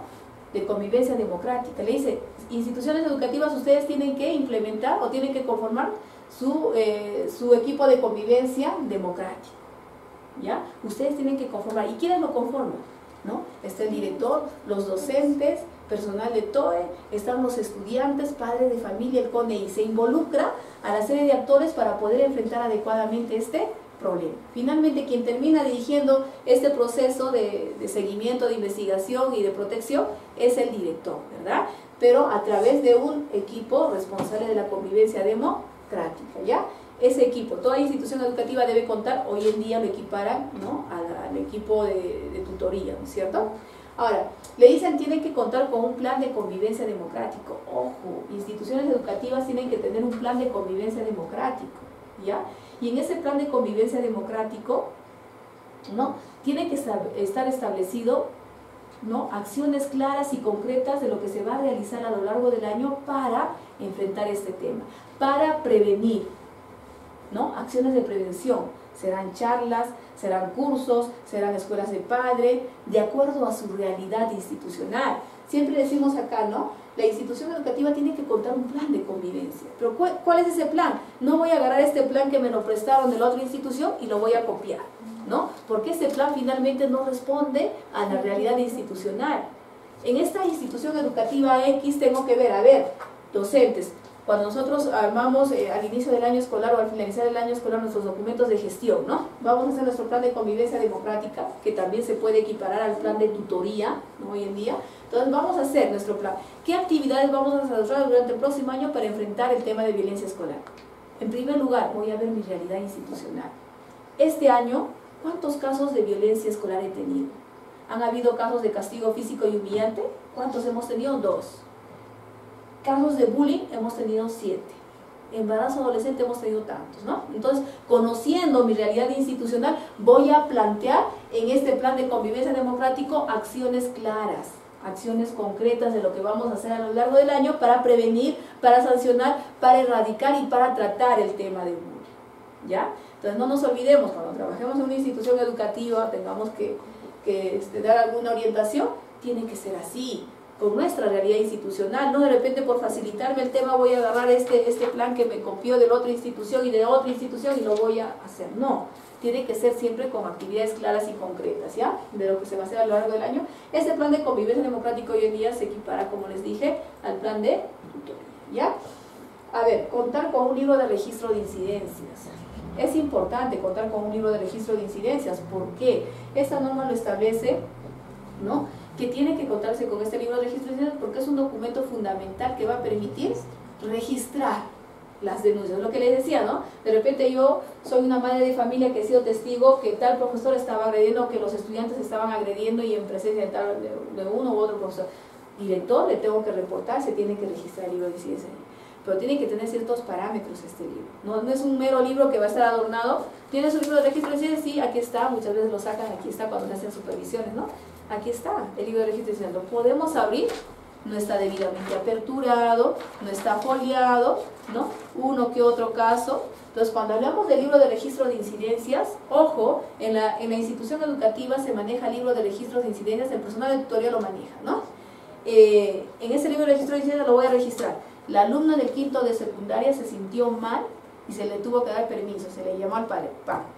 La alumna tal se cayó y se rompió la cabeza. Vino un padre de familia se, ¿no? y se discutió con otro padre de familia haciendo tal. Ese es un libro de incidencias general que maneja el personal de, tutoría. ¿no? Este libro de registro de incidencias es uno especial que tiene que ser manejado confidencialmente por el director de la institución educativa para necesariamente o meramente registrar casos de violencia Yo no puedo tener este libro a vista y paciencia de todo el mundo, ¿no? Que todo el mundo puede verlo. No, tiene que ser confidencial porque estamos hablando de denuncias. Yo no sé si le he quejado a este alumno y realmente es culpable, o no sé si el profesor tal es culpable de lo que se le está imputando. Eso, ¿no? Eso eh, afectaría nuestra dignidad. Y no es correcto en algunas instituciones educativas traten el tema, incluso en instituciones educativas particular. Hay una queja y sabe que la profesora que ha sido quejada convoco inmediatamente a los papás y le digo, papás, vamos a hablar de este tema. ¿Cómo es posible que me estén quejando a mí? Ustedes saben cómo yo trabajo. Tal papá me está quejando porque dice yo he agredido a su hija, comienza a contar historia. ¿Es correcto o no? Claro que no, porque esos temas no se pueden ventilar alegremente. Esos temas tienen que manejarse confidencialmente porque va a merecer una investigación. ¿No? Entonces no podría, muchas veces pasan estos casos y terminan contraviniendo finalmente ¿no? los derechos de los niños, niñas y adolescentes a los que se les están involucrados en estos temas, ¿no? Entonces este libro de registro de incidencias, ¿qué debe contener según la ley? ¿Ya? Tiene que contener, ¿no? ¿Quién hace la denuncia? ¿No? ¿Es un papá, es una mamá, es el mismo estudiante, es otro estudiante? ¿Quién hace la denuncia? ¿Qué fecha hace la denuncia? ¿Quién es el agresor? ¿Quién es la víctima? Si han habido espectadores. Miren, hay otro rubro que tiene que decir qué acciones está adoptando la institución educativa, es importante, ¿no? Entonces, en ese rubro de qué acciones están adoptando la institución educativa tendré que, señalar, ¿no? Como director o directora pondré, se convocó a los padres de familia, se asumió compromisos, coordiné con el psicólogo del centro de salud, coordiné, ¿no? Entonces, Y al final dice qué resultado hubo. ¿Se logró controlar o no? Después de siete días de seguimiento se logró controlar la violencia, no se volvió a suscitar ninguna, ¿no? El Comité de Convivencia Democrática está haciendo el seguimiento permanente, qué sé yo, todo lo que hemos hecho. ¿No? Y ese libro finalmente le va a servir en algún momento, les digo a los directores, porque este libro no le va a servir si en algún momento hay algún, como este caso de este estudiante de Fajardo, de un distrito de Fajardo que falleció, que se suicidó, Obviamente, ¿se están haciendo las investigaciones o no? Claro que sí. Y en las investigaciones se va a determinar, ¿no? Era víctima de bullying, de repente, eso está en proceso de investigación, pero puede ser, ¿no? Que era víctima de bullying. Señor director, ¿qué es usted? ¿Usted sabía que no? Yo no sabía, yo desconocía, profesor, ¿usted sabía, era su tutora, que el joven era víctima? No, no sabía. Es bien difícil, ¿no? Cuando hay alguien que dice, no, no sabe, pero muchas veces pasa eso. Pero ¿qué pasa si el director, no? Señala, sí, este caso lo registré tal fecha, hemos adoptado estas acciones, hemos tratado de controlar ese tema, hubo o no hubo resultados, lo va a demostrar objetivamente, ¿no? En el año 2015, si no me equivoco, salió una sentencia, la primera sentencia basada en la ley por un tema de bullying, porque en, Cusco, en una institución educativa salesiana, el director no pudo demostrar qué acciones habían realizado ante una denuncia de bullying. Un estudiante salesiano había pues formulado su denuncia porque era víctima de bullying el papá lo denunció al director porque él señaló que la institución educativa no había adoptado medidas de protección ¿no? para controlar este tema. ¿no? Entonces cuando lo denunciaron, se hicieron las investigaciones, el director no pudo determinar, el director dijo, sí, nosotros hemos llamado al papá, hemos tratado de hacer el control, hemos dado charlas. Señor director, ¿dónde está?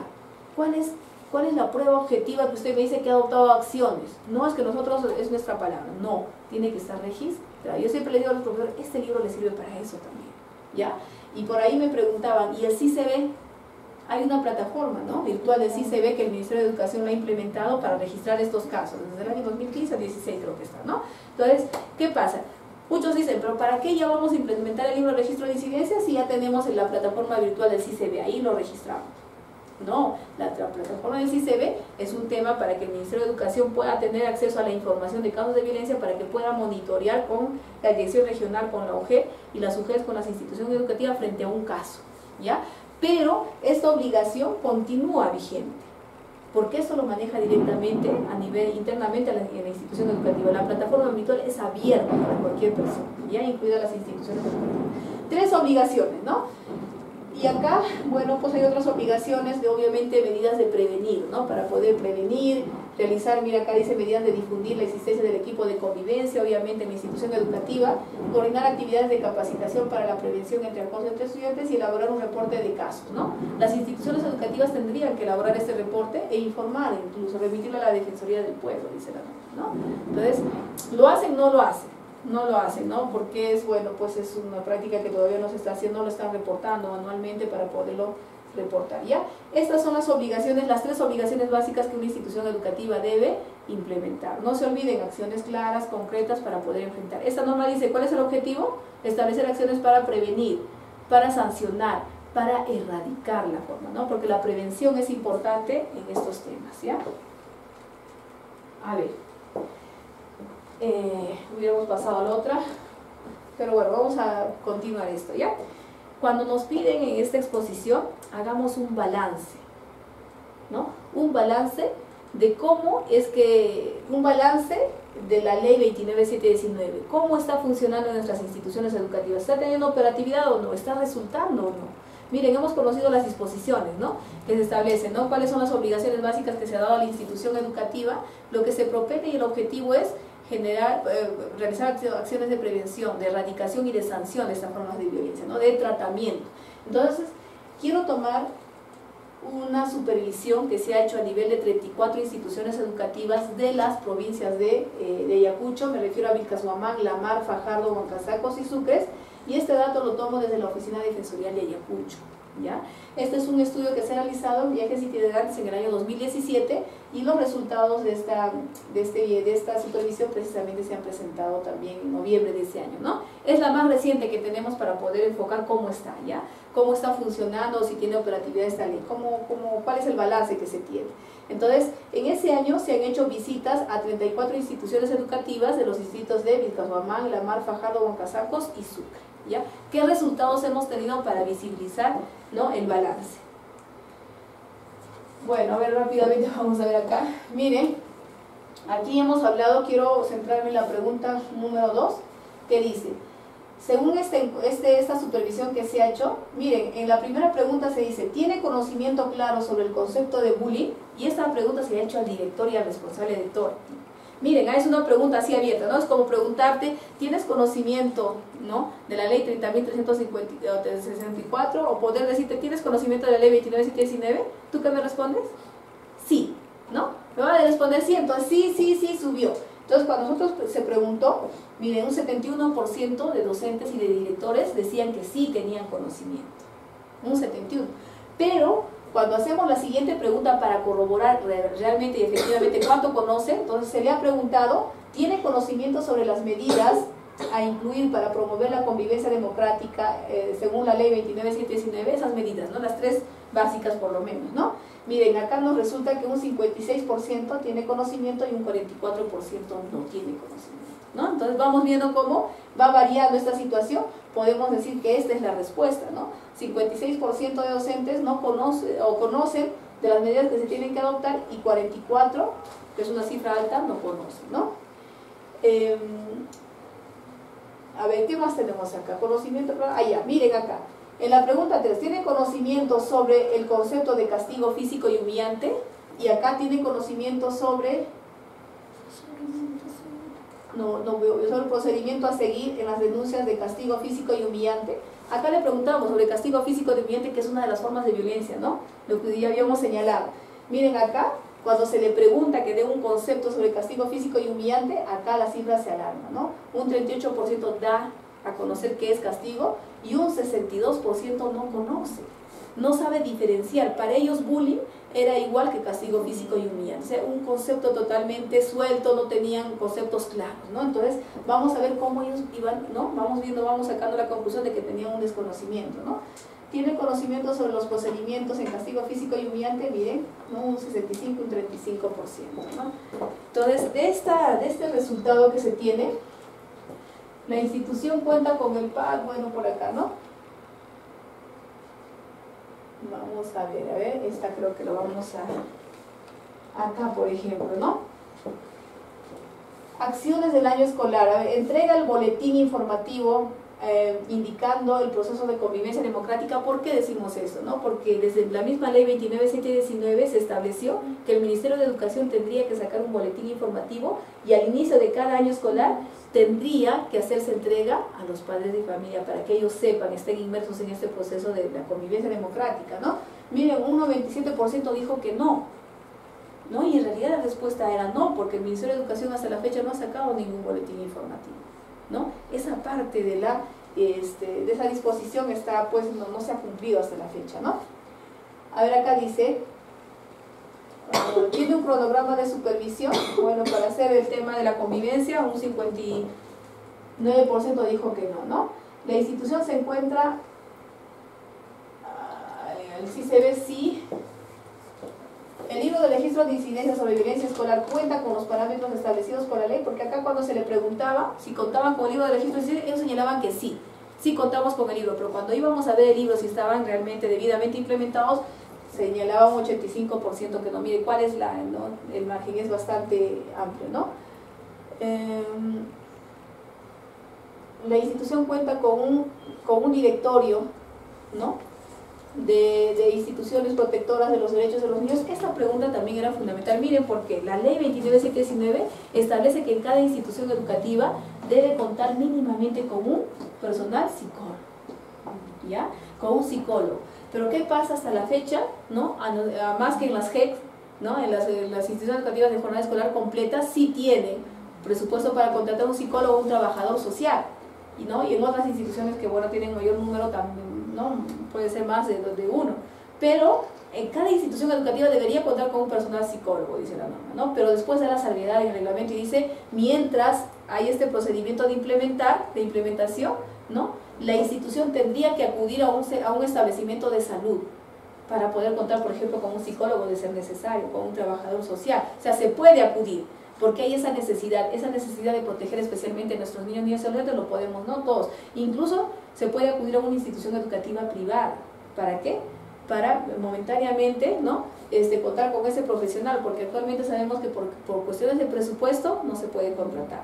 Hablábamos con unos especialistas del Ministerio de Educación y ellos señalaban que no solamente es el aspecto presupuestal, que sino también no se cuenta a nivel nacional con el número suficiente de personal psicólogo, de psicólogos ¿no? que cuenten con la especialidad, ¿no? que cuenten con la especialidad educacional. Eso es lo que ellos nos decían, ¿no? Es no es el tema presupuestario, pero también es la carencia de personal especializado, ¿ya? Y acá, miren, cuando nosotros, o cuando se hizo la supervisión, sobre si ellos contaban, porque cada institución educativa mínimamente el director tendría que contar, ¿no? Con un directorio, ¿no? De cuál es el número del fiscal de familia, de la comisaría, de la defensoría del pueblo, de la UGEL, de la DRE, o sea, tengo que tener, ¿no? Mi directorio para pues, saber cómo acudo. Pero nos dice, se señaló que no, pues no contaban con eso en, en un 50%, ¿no? Y miren acá, esto, para terminar con ese tema aburrido de las encuestas, ¿no? ¿Qué pasa? Se preguntó igualmente al personal, docente, directivo, ¿no? Si ellos habían recibido alguna capacitación durante el año 2016 y durante el año 2017, tanto en tema relacionado a bullying y como tema relacionado a castigo físico y humillante. Miren las cifras que tenemos, ¿no? Ellos señalaban que en el año 2016 no hubo capacitación en castigo físico y humillante, en bullying, no se tuvo, miren, ¿cuánto? 85, 88, 70, 85%, ¿no? En ambos temas, ¿no? En castigo físico y humillante y en bullying. Miren, esas cifras alarmantes. Entonces, de acá podemos concluir, ¿no? Que lo que pasa es que no se ha socializado adecuadamente aún esta ley. Pese, miren, ¿cuántos años tenemos? Desde el 2011 hasta el 2019, ¿no? ¿Cuántos años? Desde el reglamento, ¿cuántos años tenemos? Pero todavía seguimos careciendo y estuve haciendo, haciendo la indagación verificando, este, esta es una realidad de Ayacucho, un estudio de esas cinco provincias, pero esta ¿no? responde también a la otra realidad que tenemos, que es similar, ¿no? Entonces aquí lo que, lo que se ha visto es que no ha habido una socialización, una capacitación adecuada. Ahora entendemos de que se está haciendo un trabajo interesante en el tema de capacitación, pero eh, resulta siendo insuficiente aún para la cantidad de docentes que tenemos, para la cantidad de instituciones educativas que manejamos o que maneja a nivel nacional el Ministerio de Educación, las de la SUGER, ¿no? Entonces es importante que este tema se socialice, es importante. Ahora, con la, eh, emisión del decreto supremo 04-2018 Minedu, se han establecido protocolos, ¿verdad? Entonces, profesor, profesora, no hay excusa para que usted me diga, no sé cómo voy a intervenir ante hechos de violencia cuando en el protocolo está establecido paso por paso qué es lo que se tiene que hacer. Entonces, esa es una política del Ministerio de Educación que, que han adoptado para poder eh, acceder, pues, ¿no? Para que todo el mundo pueda acceder a esta, a esta información y ojalá así se pueda hacer, ¿no? Pero en el tema de capacitación es muy importante que se cuente, se trabaje todavía ese tema, porque es fundamental y vital para poder enfrentar este tema. ¿ya? El marco normativo, convivencia y el cumplimiento del compromiso Bueno, acá tenemos el marco normativo. Yo les mencionaba que en, este, en las instituciones educativas al iniciar un año escolar siempre se cuentan pues con este, ¿no? con normas que, o disposiciones que emite el Ministerio de Educación, bueno acá no se Pero vamos a ver, el marco normativo no, el marco normativo, vamos a ver, tenemos a la ley 29719, ¿verdad? Que es la ley, me marco en el tema de este, violencia entre, escolares, ¿no? El bullying, entre violencia o acoso entre estudiantes, ¿no? La ley que promueve la convivencia sin violencia en las instituciones educativas, ahí tenemos un reglamento al decreto supremo, la que hemos estado hablando, ¿no? Antes a esta norma tenemos en eh, la resolución directoral 343 normas para el desarrollo de acciones de tutoría y orientación educativa. Esta norma ya establecía ya una serie de procedimientos, ¿no? Luego se dio la ley 29719, tenemos a la resolución ministerial 519-2012-ED, ¿no? que aprueba esta directiva, la 019, los lineamientos para la prevención y protección de los estudiantes contra la violencia ejercida por el personal docente. ¿no? Lo que hablábamos, el castigo físico y humillante. ¿Cuál es el procedimiento? Está. La resolución de Secretaría General 364-2014, ¿no? Estos son los lineamientos para la implementación de la Estrategia Nacional contra la Violencia Escolar denominada Paz Escolar. Y a partir de esta estrategia precisamente es que se implementa ¿no? esa plataforma virtual del CICB. ¿ya? Es una plataforma virtual que el Ministerio de Educación lo maneja, cualquier persona puede acceder para reportar casos de violencia escolar. Ah, luego tenemos la ley 30.403, que es la ley que prohíbe el uso del castigo físico y humillante contra los niños, niñas y adolescentes en todas las eh, esferas. ¿no? Y finalmente ese decreto supremo 04-2018, Minedu, normas, eh, estas normas que, que termina estableciendo los protocolos para la atención de la violencia escolar. Hablamos de seis protocolos, ¿no es cierto? Los dos primeros protocolos relacionados a, bullying, 3, 4 y 5 relacionado al castigo físico y humillante por parte de los docentes y el protocolo 6 a violencia familiar. ¿Ya? ¿Cómo es que los docentes se tienen que intervenir? Bueno, aquí está este marco normativo también, ¿no? Cada año el Ministerio de Educación, lo que me estaba anticipando decirles anteriormente, pero emite normas y orientaciones para el desarrollo del año escolar 2000, ¿no? Para el año escolar eh, que corresponde, ¿no? En este caso del año escolar 2019. ¿No? La resolución ministerial 712-2018 Minedu ha establecido estas normas de orientación, ¿no? Es un resumen ¿no? de lo que se va a hacer, cuál es la, metodología que se va a implementar en matrícula, en los cursos, cuántas son las horas, todo nos dice acá, ¿no? Y nos habla de los compromisos. Yo les hablaba que ahora trabajamos, en el Ministerio de Educación se trabaja con compromisos. El quinto compromiso para este año está relacionado a la gestión de la convivencia escolar, ¿ya? Y este compromiso 5 precisamente establece cuáles son los temas que se tienen que trabajar, cuáles son las pautas, ¿no? Nos habla de fortalecer espacios de participación democrática, organización de la institución educativa, promoviendo relaciones interpersonales positivas entre los miembros de la comunidad educativa, ¿no? Nos habla de la elaboración concertada y articulada y difusión de las normas de convivencia, obviamente entre todos los actores, ¿no? Eh, implementación de acciones de prevención de la violencia con estudiantes y familias y personal en la institución educativa o programa. Atención oportuna de situaciones de violencia contra niños, niñas y adolescentes de acuerdo a la protección vigente. ¿no? establecimiento de una red de protección para la prevención y sanción. Estos parámetros son los que deben regular ¿no? en todas las instituciones educativas para afrontar adecuadamente este tema según el Ministerio de Educación y este compromiso. Ajá, y aquí hablamos, ¿no? Quiero hacer un hincapié porque este decreto supremo 04-2018, para quienes estén haciendo este estudio relacionado a violencia escolar, es importante, porque este protocolo, este, este decreto supremo va a establecer los protocolos que le decía, mire, estos protocolos ¿no? incluyen los procedimientos para una atención oportuna ante situaciones de violencia, ¿ya?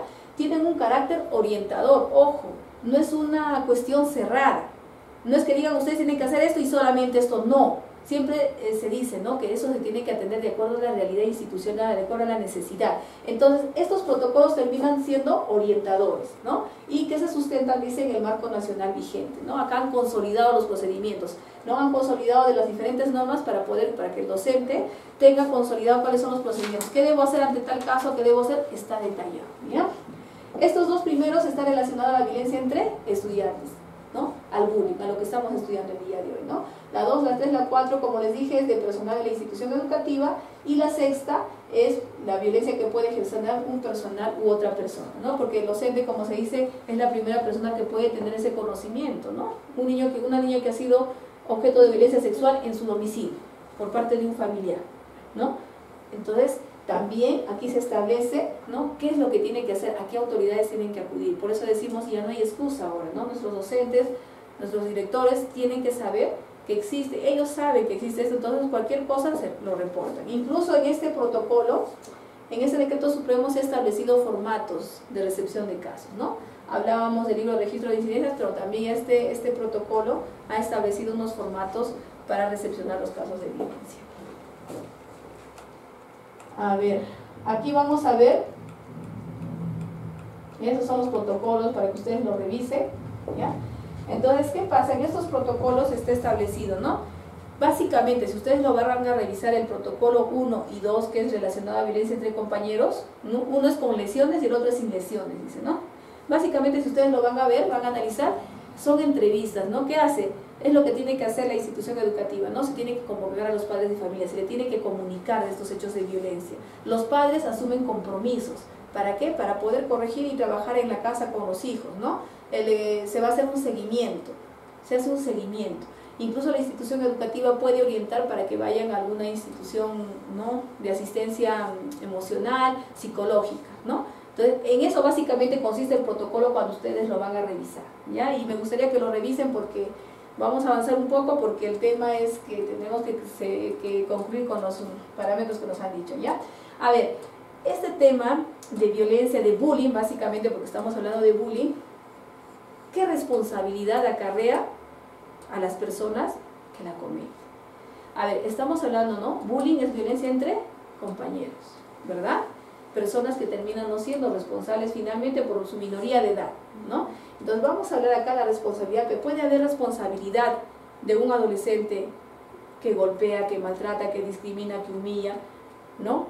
Que lesiona a un compañero, sí puede haber, ¿no? Entonces sabemos que a partir de los 14 a 18 años hablamos de una, se está sujeto al sistema penal juvenil, ¿no? El adolescente puede hacerse responsable, sí, a partir de los 14 a 18 años. ¿Qué pasa? Cuando se trata de menores a los 14 años, vamos a hablar pues de, se van a dictar medidas de protección, ¿no? Ellos no están exentos todavía de responsabilidad, pero sí a partir de los 14 a 18 años, ¿no?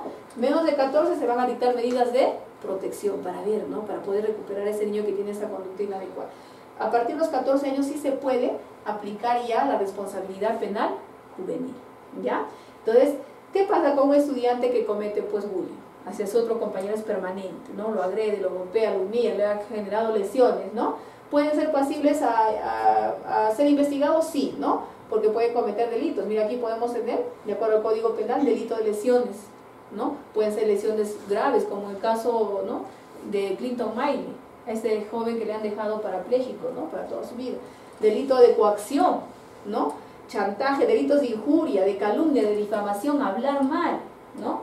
Eh, difamar a una persona, delitos de violación a la libertad sexual, incluso delitos de homicidio, ¿no? Entonces vamos a ver que los adolescentes a partir de esa edad sí pueden ser investigados bajo, ¿no? La responsabilidad penal juvenil, ¿ya? El, el director, el docente, ¿puede tener una responsabilidad? Sí. La norma, la ley de reforma magisterial y las normas de procedimiento administrativo disciplinario, establecen precisamente ¿no?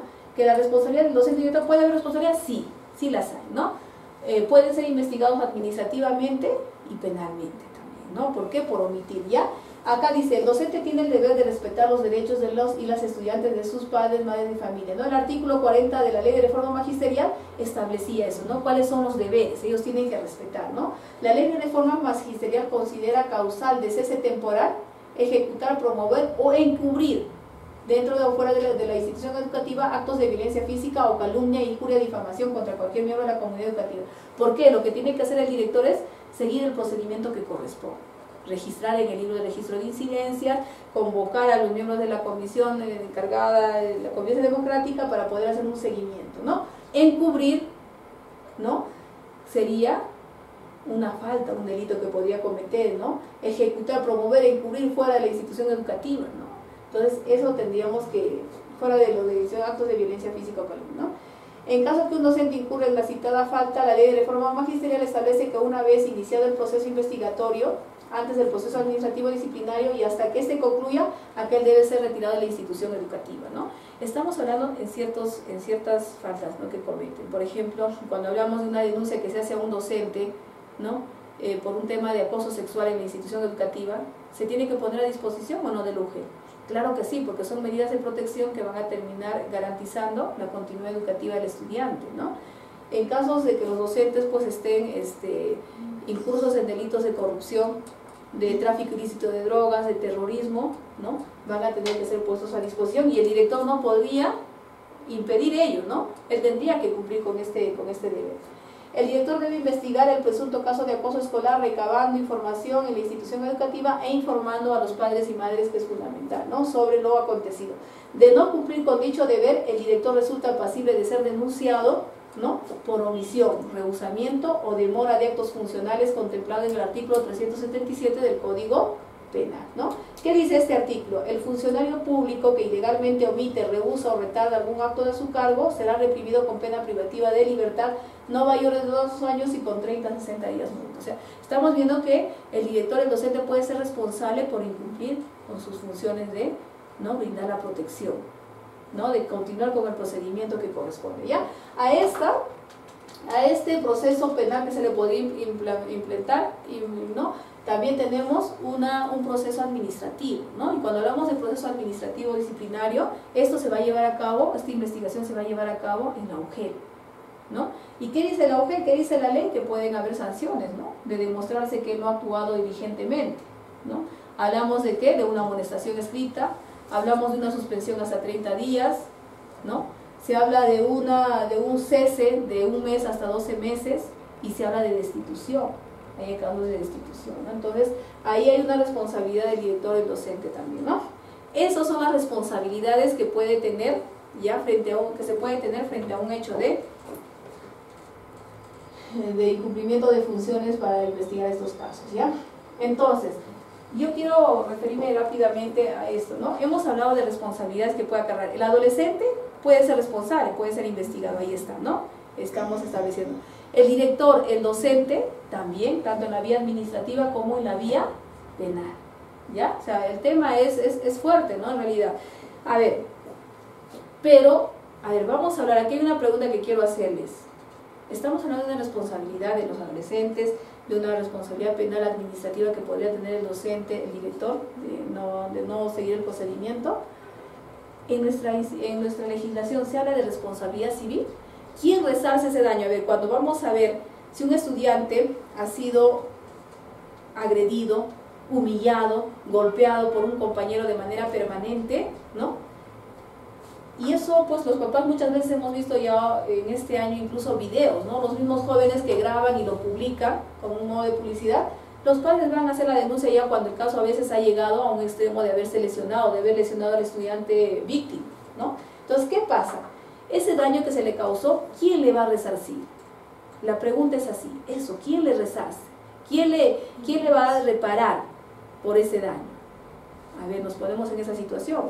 No sé si ustedes han tenido un familiar que ha sido agredido o ha sido víctima de bullying.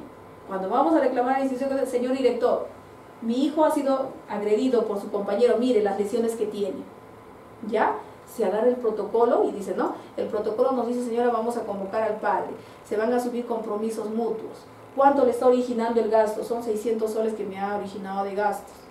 Señor, usted que es el papá del niño agresor, ¿cuánto va a aportar? ¿No? Mire, yo no puedo dar más de 100, ya pues 200 soles, un compromiso que va a dar son 100 soles. Y a la hora de la hora, ni siquiera los 200 soles le logra dar. Y la señora dice, no, mire, ¿sabe qué? Acá no sirve de nada porque todo ha quedado en papel, ¿no? ¿Quién debe reparar ese daño, ¿no? Entonces, miren, en nuestra legislación peruana, porque eso tendría que estar, tendría que estar regulado, la responsabilidad civil, esa responsabilidad, se habla de una responsabilidad administrativa penal, estamos hablando, pero no de una responsabilidad civil en casos de violencia escolar, en casos de bullying. Nuestra legislación, en nuestra legislación civil no se encuentra regulado esta forma de, de, responsabilidad, ¿no? Entonces la pregunta aquí va, viene y les digo, ¿quién debería resarcir? ¿El niño o el adolescente que ha agredido a su compañero que le ha ocasionado, él podría, él podría resarcir? Económicamente, porque van a civilmente económicamente, o sería el padre de este menor que es el representante. Y la pregunta va, ¿no? Es el padre del menor que tiene que resarcir.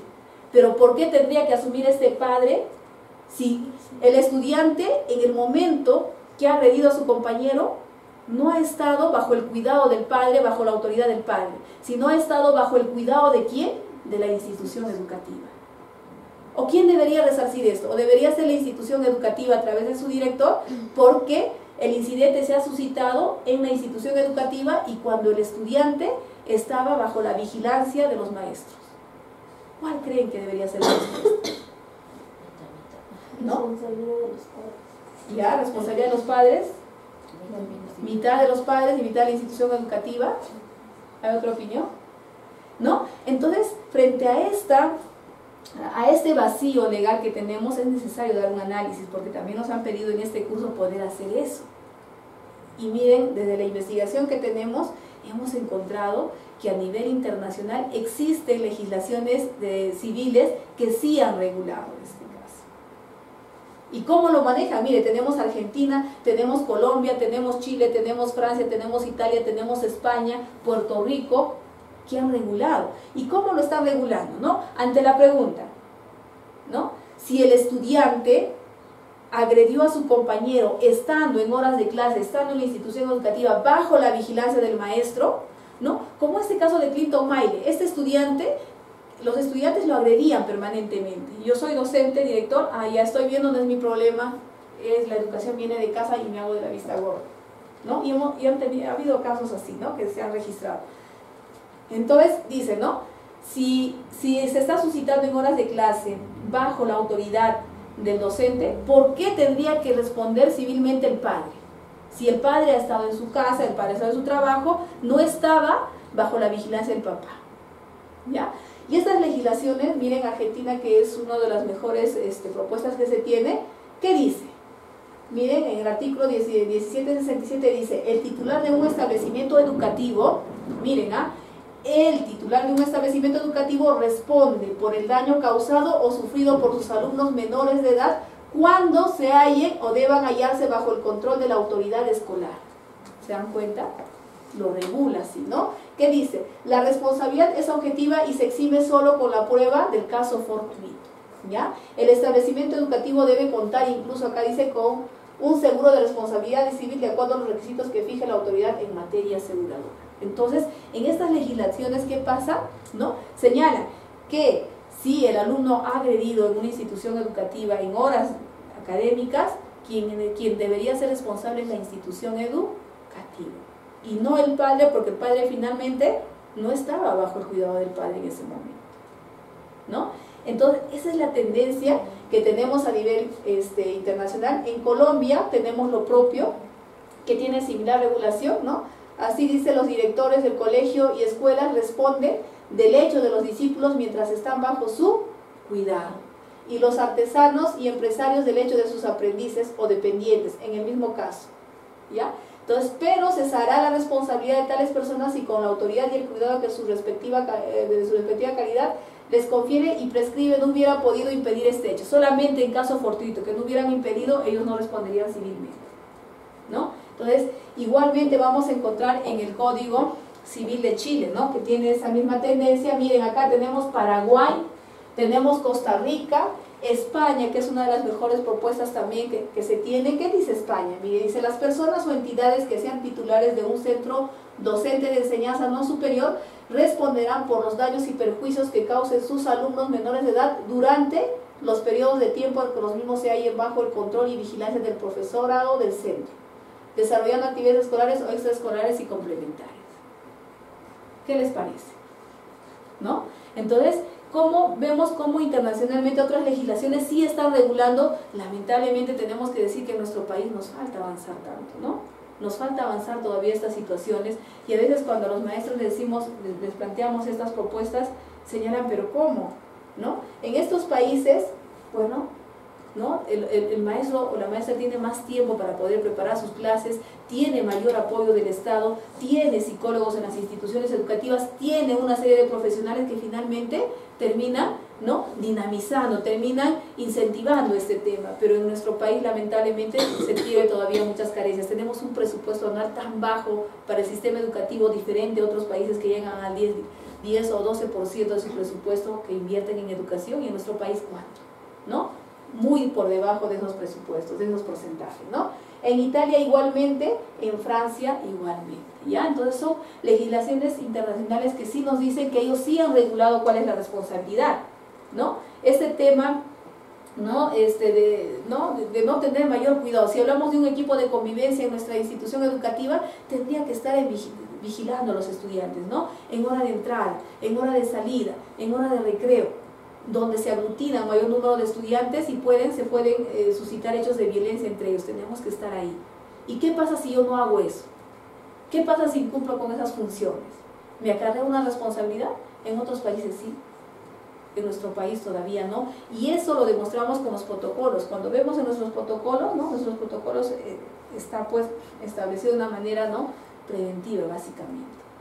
No se ha establecido este tema de la responsabilidad civil en nuestro país todavía, es un vacío legal que no se ha regulado.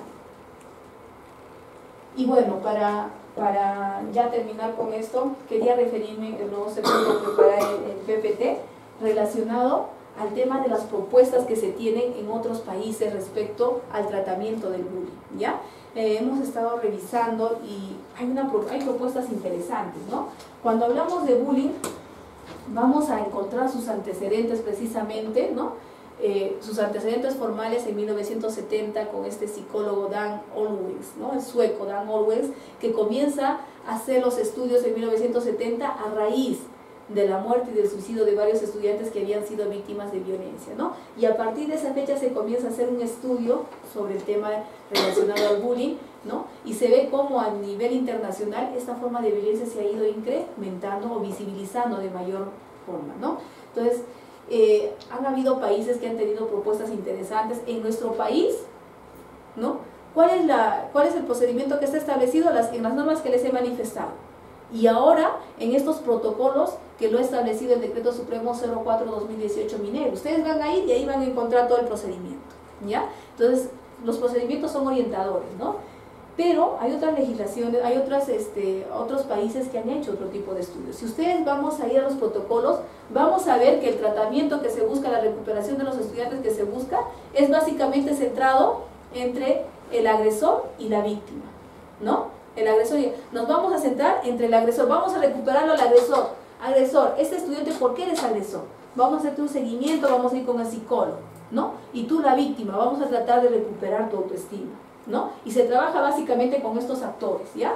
Pero hay otras experiencias, como por ejemplo en Finlandia, hay una experiencia interesante que ya lo están aplicando otros países, ¿no? Hay un programa denominado Kiva, ¿ya? Y Kiva significa Kiausa, bueno, tiene un nombre especial que significa, que significa contra el acoso, ¿ya? Entonces, vamos a ver que este, que este programa denominado Kiva en Finlandia, que significa contra el acoso, ¿no? se ha centrado en realizar estudios de recuperación de trabajo, ya no solamente con la víctima y con el agresor, sino básicamente con los espectadores. Cuando hemos hablado inicialmente, hemos encontrado que tenemos entre los actores, podemos identificar a quienes, acá, identificamos, aquí está, ¿no? vamos a identificar al agresor, a la víctima y a los espectadores, ¿no es cierto? En nuestro país básicamente se está centrando en hacer el tratamiento con la víctima y el agresor. Si ustedes ven los protocolos 1 y 2, vamos a ver que se cita a los padres del agresor, de la víctima, ellos asumen compromisos mutuos, se le va a derivar a un centro de salud, ¿no? Ahí está, ¿no? Básicamente en la víctima y el agresor. Y de manera muy somera dice acciones de prevención, ¿no? Pero en este programa Kiva ¿Qué hace este programa Kiva? Señala que trabajan esas acciones de prevención, ya no solo con la víctima y el agresor, se trabaja con ellos también, pero con quien se incide de mayor manera es con los espectadores. Porque ellos dicen, ¿por qué hay un agresor? Porque hay espectadores que lo aplauden, que lo reconocen. ¿Por qué este, este joven agresor es el más famoso? ¿Por qué está bien visto o tiene una categoría, un estatus dentro de, de la institución? Porque ellos lo promueven, porque ellos lo aceptan, porque ellos lo impulsan. Entonces, este programa Kiva hace trabajar precisamente para que los espectadores aprendan a identificar cuando estamos en un caso de bullying, ¿no? Y cuándo debemos parar, cómo debemos pagar, cómo debemos trabajar para recuperar el autoestima del estudiante víctima. Y este programa también se extiende a los padres de familia. O sea, la, institución educativa no lo va a trabajar de manera aislada, sino va a convocar necesariamente la presencia de los padres, ¿no? Entonces vamos a ver y miren el resultado que tienen, porque este programa se ha estado trabajando desde el año 2009 en Finlandia, ¿no? Y se ha logrado reducir hasta un 79%, ¿no? Los casos de violencia escolar. Hasta entonces Finlandia, que tiene uno de los mejores sistemas educativos a nivel mundial, ustedes sabrán, ¿no? Por cultura, ¿no? Ellos desde el año 2006 estaban tratando de implementar y ningún método les funcionaba como les ha funcionado este método denominada Kiva. ¿Ya? Entonces, con, este, con esta metodología precisamente se está trabajando a nivel de los, eh, de los espectadores, ¿no? Vamos a reducir la, tolerancia cero a la violencia, ¿no? Entonces, si no tenemos personas que aplaudan, que, que, reconozcan esta forma de violencia, vamos a recuperar, ¿no? Entonces, les ha tenido un resultado, bueno, es otra realidad social, pero, otra realidad cultural, pero este, hay, un, hay, una, hay, una, hay un resultado interesante, ¿no? Que podríamos también verlo a nivel nacional, de repente aplicarlo, ¿ya? ¿Qué países están aplicando? Este, este programa Kiva, ¿no? Están aplicándolo también en Argentina, por ejemplo, ¿no? Argentina ya tomó este modelo, Chile, Colombia, ¿no? España, que ellos señalan que existe una respuesta también interesante eh, de la reducción de casos de violencia. En nuestro país, si no me equivoco, tenemos según los, eh, los, reportes que se tiene desde hace, eh, desde hace cinco años, lo tengo acá, tenemos reportados en el CICB, a ver, les voy a dar esta cifra, ¿ya? tal vez les interese saber. Miren, en los últimos cinco años, es decir, desde el 2013 al 2018, se tiene registrado en el CICB 1957 casos de violencia, ¿no? Entre violencia física, violencia verbal, violencia psicológica y violencia sexual, ¿ya? 19.157 casos en cinco años registrados en el CICB. Los que se pudieron registrar, los que pudieron subir, ¿no? Los que se pudieron visibilizar. Pero en realidad, si nos vamos a ir al tema este, ¿no? de, de nuestra realidad, vamos a ver que estos casos probablemente se dupliquen, ¿no? Porque no todos terminan subiendo los casos al sistema, ¿no? De los cuales pues tenemos porcentajes de, ¿no? Este, alarmantes, hay un, hay un, hay 2.545 casos de violencia sexual, ¿no? Entonces, en el CICB sí tenemos registrado esto, pero que no necesariamente responde a la realidad de los casos que se tienen, ¿no? Entonces, eh, esto ha sido un, un, tema que he querido compartir con ustedes, esta experiencia interesante de Finlandia, ¿no? De este método Kiva, que significa Kiusamista Bastam, ¿no? Que significa contra la violencia o acoso, ¿no? Entonces, ¿por qué no pensar que en nuestro país, ¿no? Se pueda aplicar esto? Chile ya lo está haciendo, Argentina, ¿no? Y Argentina está teniendo resultados interesantes, dicen, ¿no? porque este trabajo que se hace este, de este programa del Kiva es un programa que tiene continuidad, no es un programa que termina, ¿no? Al iniciar el año escolar 2019, eh, marzo a diciembre y terminó el programa, no, el programa es permanente, ¿ya? Y se hacen estudios, dicen, de, eh, de capacitaciones, de, de, capacitaciones y de, de seguimiento, ¿no? En las edades de 7 años, 10 años y 13 años. Se refuerza durante esas edades del año escolar, se refuerza a estos niños para que ellos puedan aprender a identificar casos de bullying, para que aprendan a, a, este, a rechazar esta forma de violencia y a recuperar a la víctima. ¿no? Entonces, eh, sería un punto a considerar, ¿no? De repente, si en nuestras instituciones educativas tenemos las tasas de, de bullying que tenemos, porque hay compañeros que lo celebran, que lo reconocen y eso, esa prueba es que no, incluso lo publican por las redes sociales. Ahora habría que preguntar en esos estudiantes en finales si ellos lo publican, ¿no? Probablemente no lo hagan porque eso sería una manera de reconocer, porque esos jóvenes en esa formación, adolescentes o niños, de repente se sienten reconocidos, ¿no? Al ser publicado su video, que de, de estar violentando, agrediendo, de sentirse el más fuerte, ¿no? Son situaciones que podríamos considerarlo en nuestro país, ¿ya? Entonces, que les quiero agradecer por vuestra atención, ¿ya? Eh, el PPT lo voy a dejar ahí, si ustedes quieren, este, lo podemos compartir, este tema es bastante interesante, el tema relacionado a violencia escolar es bastante amplio, ejemplos los tenemos desde la institución en la que trabajamos y bueno, pues si ustedes quieren, posteriormente podemos hacer algunas coordinaciones, búsquenme, Y podríamos este, apoyarles de repente en algún trabajo de investigación que estén realizando y algunas propuestas que se pueden hacer también, ¿ya? Les quiero agradecer, les voy a pedir un aplauso para todos los que